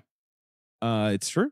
Uh, number three at the box office. Lucky Yeah, you? it- no, that is opening number six. Whew. Tough. No, but you're right that no, like this is a box office filled with movies that are basically Dumping like, what can we dump? Right. Right. In, Sacrificial. Exactly. Yeah. Before Spider Man. So this is Not a only that, in the next two weeks, you're going to have two. Like they were like, we're going to have three hundred million dollar plus openings in a row. um this is yes this is a crime thriller Hmm. starring an Oscar winner Okay. And an Oscar nominee. Okay. an old vet and a young buck. Hmm. Uh, it is forgotten. It's a forgotten, sort of like a the recruit esque thing. Yeah. But it's like a legal thriller. It's a legal thriller. It is forgotten. Oh, it is the movie Fracture. incredible that he got that. I would have never Fucking guessed insane. that. I killed my wife. Anthony Hopkins and Ryan Gosling. The tagline for that movie is "I killed my wife." And it's not the one where Ryan Gosling is playing Robert Durst. No, That that is all good things. with right? Mary Jane Kirsten Watson, Dunst. Kirsten Dunst herself. Um, Yeah. Yes. Uh, but yes, Fracture. Fracture is Anthony Hopkins shows up, Ryan Reynolds, hotshot lawyer, and he goes, "I killed my wife. I want you to defend me in court." And he's like, "Why is he telling me he killed his Right. wife?" What's going on? I assume there's some twist. I think he has to prove that he's innocent, even though the guy's telling him that he's guilty or some shit like that. I don't know. Who fucking gives a shit? Number Fracture. four at the box office is a supernatural teen thriller Hmm. uh, made by someone who was hot in the comic book movie industry. Is it Uh, David cr- Goyer's The Invisible? Is it Chronicle? it's not Chronicle. It is David Goyer's The Okay. Invisible. When is Chronicle? It's Chronicle. 09. Is Yeah. yeah, oh, maybe a little later. No, it's 2012. That's how 12, old we wow. are. Wow. Um, no, exactly. It's it's a more forgotten film than Chronicle. It's Yeah. The Invisible. Justin I don't know Chatwin. anything, which is a David Goyer movie. It's a Justin Chatwin picture. Uh, yeah, sure. Yeah. Is he Invisible? What's It's it like a about? ghost or some shit. I don't fucking know. Who gives a shit? Okay, fine, great. We don't know. I think he's a dead kid and he comes back and he can see people and he solves his own death or some shit like that. David Goyer would write these huge blockbusters and then he would like direct these movies, right? Like this and uh he did the weird uh Dybbuk movie with Gary Oldman as a rabbi. Oh, of course. Yeah, The Unborn. maybe? Unborn. Yeah. And he Uh, would do interviews with Ain't It Cool because they wanted to talk to him to get like Batman scoops. And they'd be like, So what about this movie? And be like, I don't know. It's like this fucking shit the studios want for kids. I tried to make it really scary, but I can't because it, like he'd be like, I, I'm tying an arm behind my back. These kids eat this shit up. Uh, number five at the box office is a science fiction film. It's based on a short story by Philip K. Dick. The Uh, Scanner Darkly? It's not a Scanner Darkly. In 2007. It's not a good film, Yeah. unlike a Scanner Darkly. yeah. How he- how heavy the sci-fi? Uh, I've never seen it, but my guess is somewhat heavy. It stars one of your favorite actors. It stars one of my favorite actors Mhm. as the lead Oh, he's the lead. in 2007. Yeah. Philip K. Dick. Oh, oh, oh, oh, oh, oh, oh. The movie Next. Next. Lee Tamahori's Next. Next. Nicolas Cage, Julianne Moore, Yep. Jessica Biel, Correct. Peter Falk. Yep. In this movie. Peter Falk is like he he works at like the garage. Peter Falk in that movie is called Irv, apparently. he's like Bryan Cranston in Drive. He's like, kid, you got to stop seeing what's next. So it's the he's a magician who can see into the future, and this gets him mixed up with terrorists and maybe the FBI. Yeah. Next. Can I ruin the twist of Next? Yeah. Go ahead. If you don't want to hear the twist of Next, mm, Just press your skip ahead button. Yeah. So the whole movie is he can see a little bit into the future, and so he can decide what the best thing to do is. Right.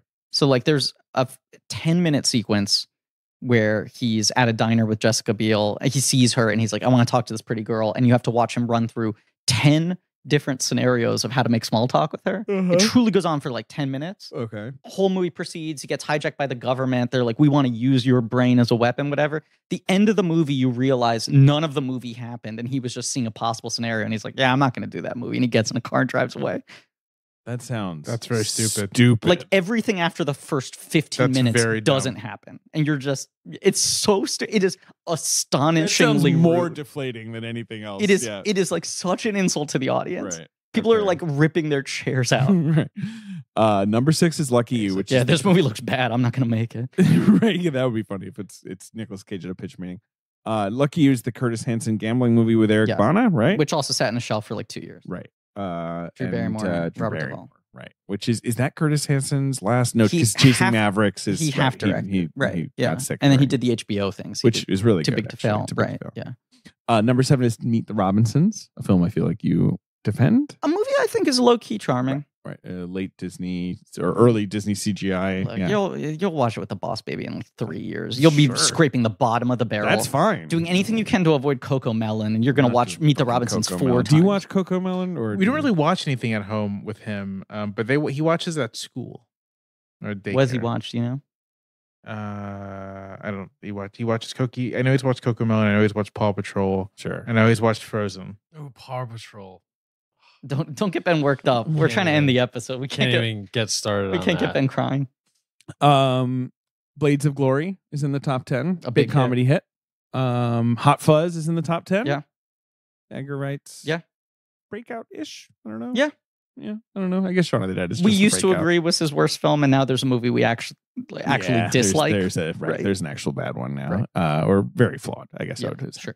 And then, Are We Done Yet? Is that the sequel to Are We There Yet? Yeah, it was a big That's- box office that's game Ice Cube? stumper recently. Yeah, Yeah, yeah, yeah. right. So, are we there yet? The road trip movie with his girlfriend's kids. Are We Done Yet? He's what fixing up the house. It's a Yes. remake of Mr. Blandings builds his dream house. Correct. The Cary Grant film. Yes. Yep. Uh, but yes, it's he's trying to fix a house. It's like a money pit style thing. Classic. Yeah. Uh, offensively, this film was not nominated for best visual effects, or maybe not offensively. I just feel like the Sandman stuff should get it The in heights there. are high, but it, it speaks to I just think what a bad People were taste out on this thing, right? Right. Golden Compass wins that year, Yeah. and Pirates of the Caribbean and Transformers both are the other nominees, and I guess those might have a better case. Like It- World's End has incredible visual effects, Incredible. Oh yeah. and Transformers was kind of doing a thing no one had seen before. but Dead Man's Chest had one. Dead Man's Chest won the year before, and of course that's the one that introduces David Davy Jones, and all, that. sort of That's shit. really impressive. Michael Right. Bay's whole like talking point in interviews that summer was like, I had to make this movie with like half the budget of Spider Man. Like he was like, I had to be scrappy with 125 million dollars, and every character in this is a robot. And on that level, Transformers looks insane. That is the thing. But the other thing with Transformers is you were just like, how the how the fuck? It, now it's like, yeah, sure, I know how that's when they look. when then they you were like, announced they're toys. What they're Right, gonna right. be like talking and shit. when they Like, announced this is- Transformers, I said that is impossible. it's not doable, right? And How do, can you have that many large characters in God, one movie? That's a movie that, like, I, I would just love to go to someone 400 years from now and be like, look at this. Let's watch this together. like, even maybe a sequel, like one of the ones where it's like a bunch of robots are actually having like major conversations Right. with each other. But that is, as you said, Those movies are bananas. oh, insane. That is the movie of this summer that Hollywood start taking ideas from, and then the next summer is Iron Man and Dark Knight, and yeah, everything's changed. So, Spider Man 4, uh, of course, was the plan. Mhm. Spider Man's 5 and 6 were also announced. Yeah. They, had never dates. happened. Uh, David Koepp was brought in. James Vanderbilt was brought in. Mhm. Raimi hated the script. Yeah. The studio didn't like Raimi's ideas about Vulture or whatever. And it all falls apart. But I think it was just the classic Raimi thing where he's like, I am not going to deliver another fucking movie to you until I am satisfied with this script. Like What- I'm not doing what we just like, did again, where I'm I not- like just have to hit. I date. refuse to apologize for a Spider-Man movie again. Right. So either we're doing this right or I'm not doing it. And it got to the point where they said it's too much money, they're too stubborn, and and part of the Sony deal has always been there has to be a new Spider-Man movie every whatever years. Um, and their deal was always like, in exchange for that, Marvel has 25% of the licensing and the Yes. merchandising and whatever. Right. When they make the deal, renew it for the Andrew Garfield movies, the deal becomes Marvel keeps 100% of merchandise. And so Marvel's like, then we're fine. We don't fucking need the movies, whatever. right. It's when those movies start bombing and the merch sales go down that Feige has to come in and be like, you're tanking the character Yeah, you're gonna. the ruin toys are no longer worth anything. Right. Um, but the other thing I remember is that when James Vanderbilt gets hired, and he's getting hired the same year as Zodiac, good movie. great movie. That uh, they're working on four. Raimi is more hands on in that. Vanderbilt is like pitching five and six. He's pitching a five and six that they could shoot back to back because that's the new hotness That's again cool after thing. Pirates of the Caribbean.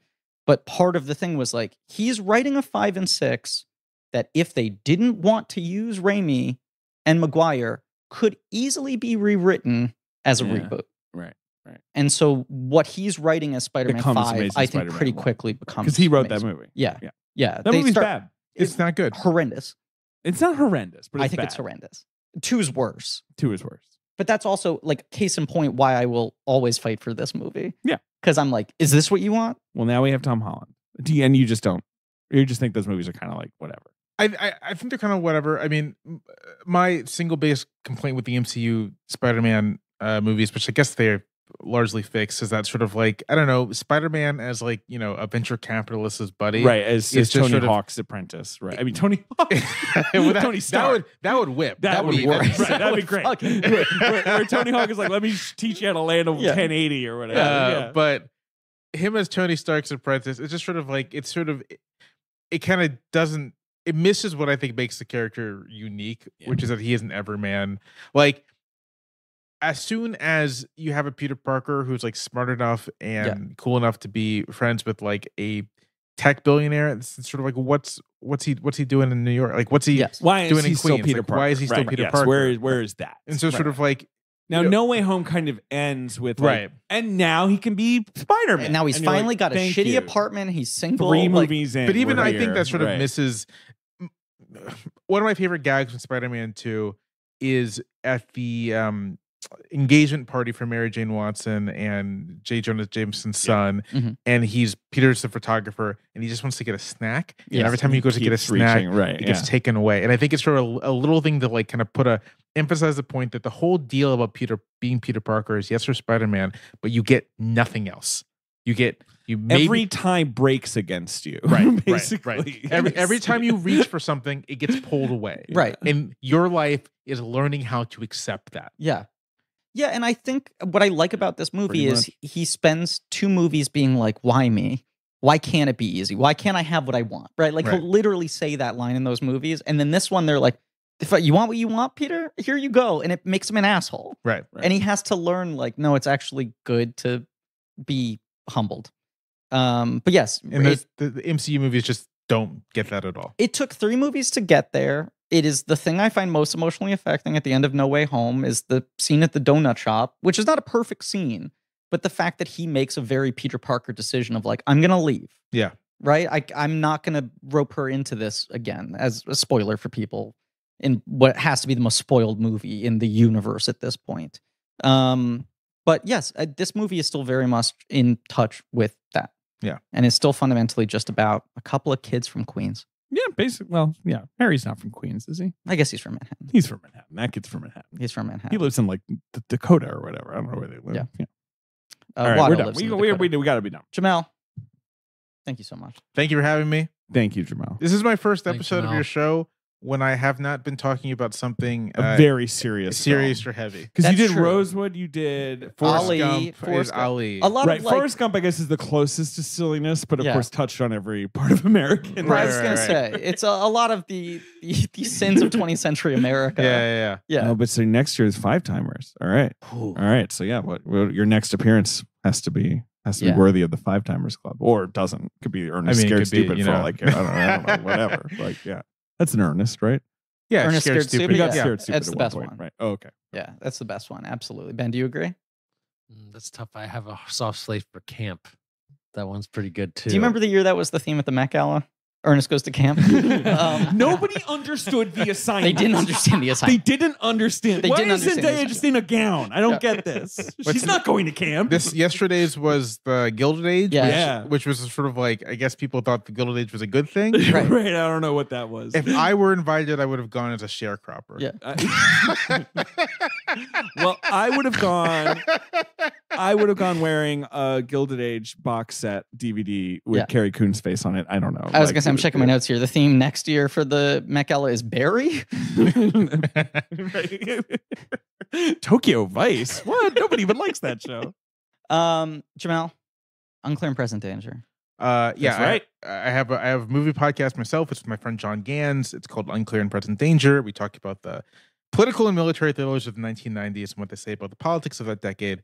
Um, and we more or less watch the movie like we watch like you know TBS Sunday night Yeah. movies, a clear and present danger. You know, it's right there in the Yeah, yeah. title. One of those movies. and we talked about them. Um, our last episode, our most recent one was on Oliver Stone's JFK, a Buck Wild movie. Oh, very Mm. chill Um, movie. Yeah, what is- what are you talking about? A popcorn flick. Uh, uh, a movie I love, but Yeah. is is uh, probably responsible for poisoning the brains of. Uh, That's the a- thing. a You're like, this is so irresponsible. I'm very entertained Yeah. right now. Yes. Yeah, the, the the best way I can describe watching JFK, if you've never seen it, is it is like uh uh getting incredibly high and then like totally vibing, and then once you come down from it, you're just like, oh, I have I have ingested something dangerous to my health. Yes. Right. Right. Yeah. Right. Right. I, I never. It's yeah. It's like a four loco with cocaine in it. or So- someone Right. needs to be like watching Oliver Stone 100%. Like monitoring him constantly to make sure he doesn't make a fucking QAnon movie. Oh God. I mean, he JFK is a QAnon movie.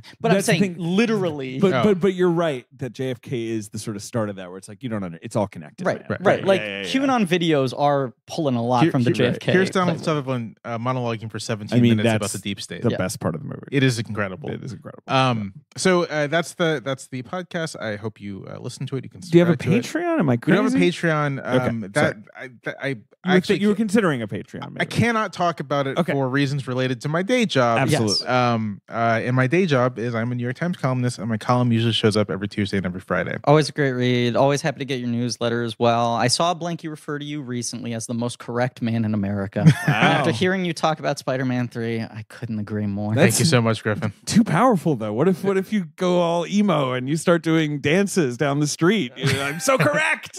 like you're drunk with power. All right. Yes. Yes. Uh, that was Spider-Man 3. Mm-hmm. Tune in next week for Oh no, no. The No, next week's good. Next week's a right. good one. I thought next week was Oz, but no, of No, course, there's a no, good no, one no. in between. I almost right. made the same mistake. Tune in next for, for uh, tune in next week for uh, uh, Drag Me to Hell. Yeah. With Jamie Loftus and Caitlin Durante of the Bechdel cast Mhm. returning to the show uh, together for the first time. Yep. Uh, except on their podcast where they're always together. Sure. Uh, first time on this show. Uh, and our Patreon, of course. Patreon.com slash blank check. Yeah. Where we're doing the, the Batman, the Not All Batman, Ben's going to sleep.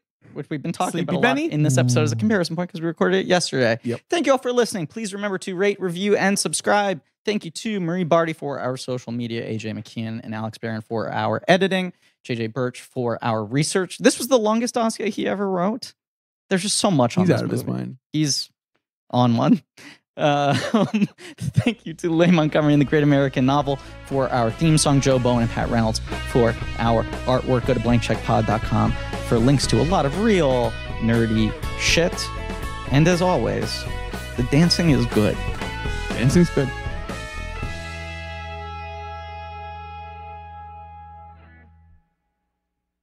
Some other, there's there's a scene where Sandman turns into a sandcastle, right? That scene's good. where for his daughter or whatever. Yeah, so it's after Spider Man turns him into mud, and when he reconstitutes, he's like, Sandman's so silly. So no, silly. he's not. I'm David. sorry. I'm sorry. He's very serious. Yeah, he turns into wet sand. He's a sure mud does. man, and He then sure he dries out, he turns to sand. It's fucking cool as hell.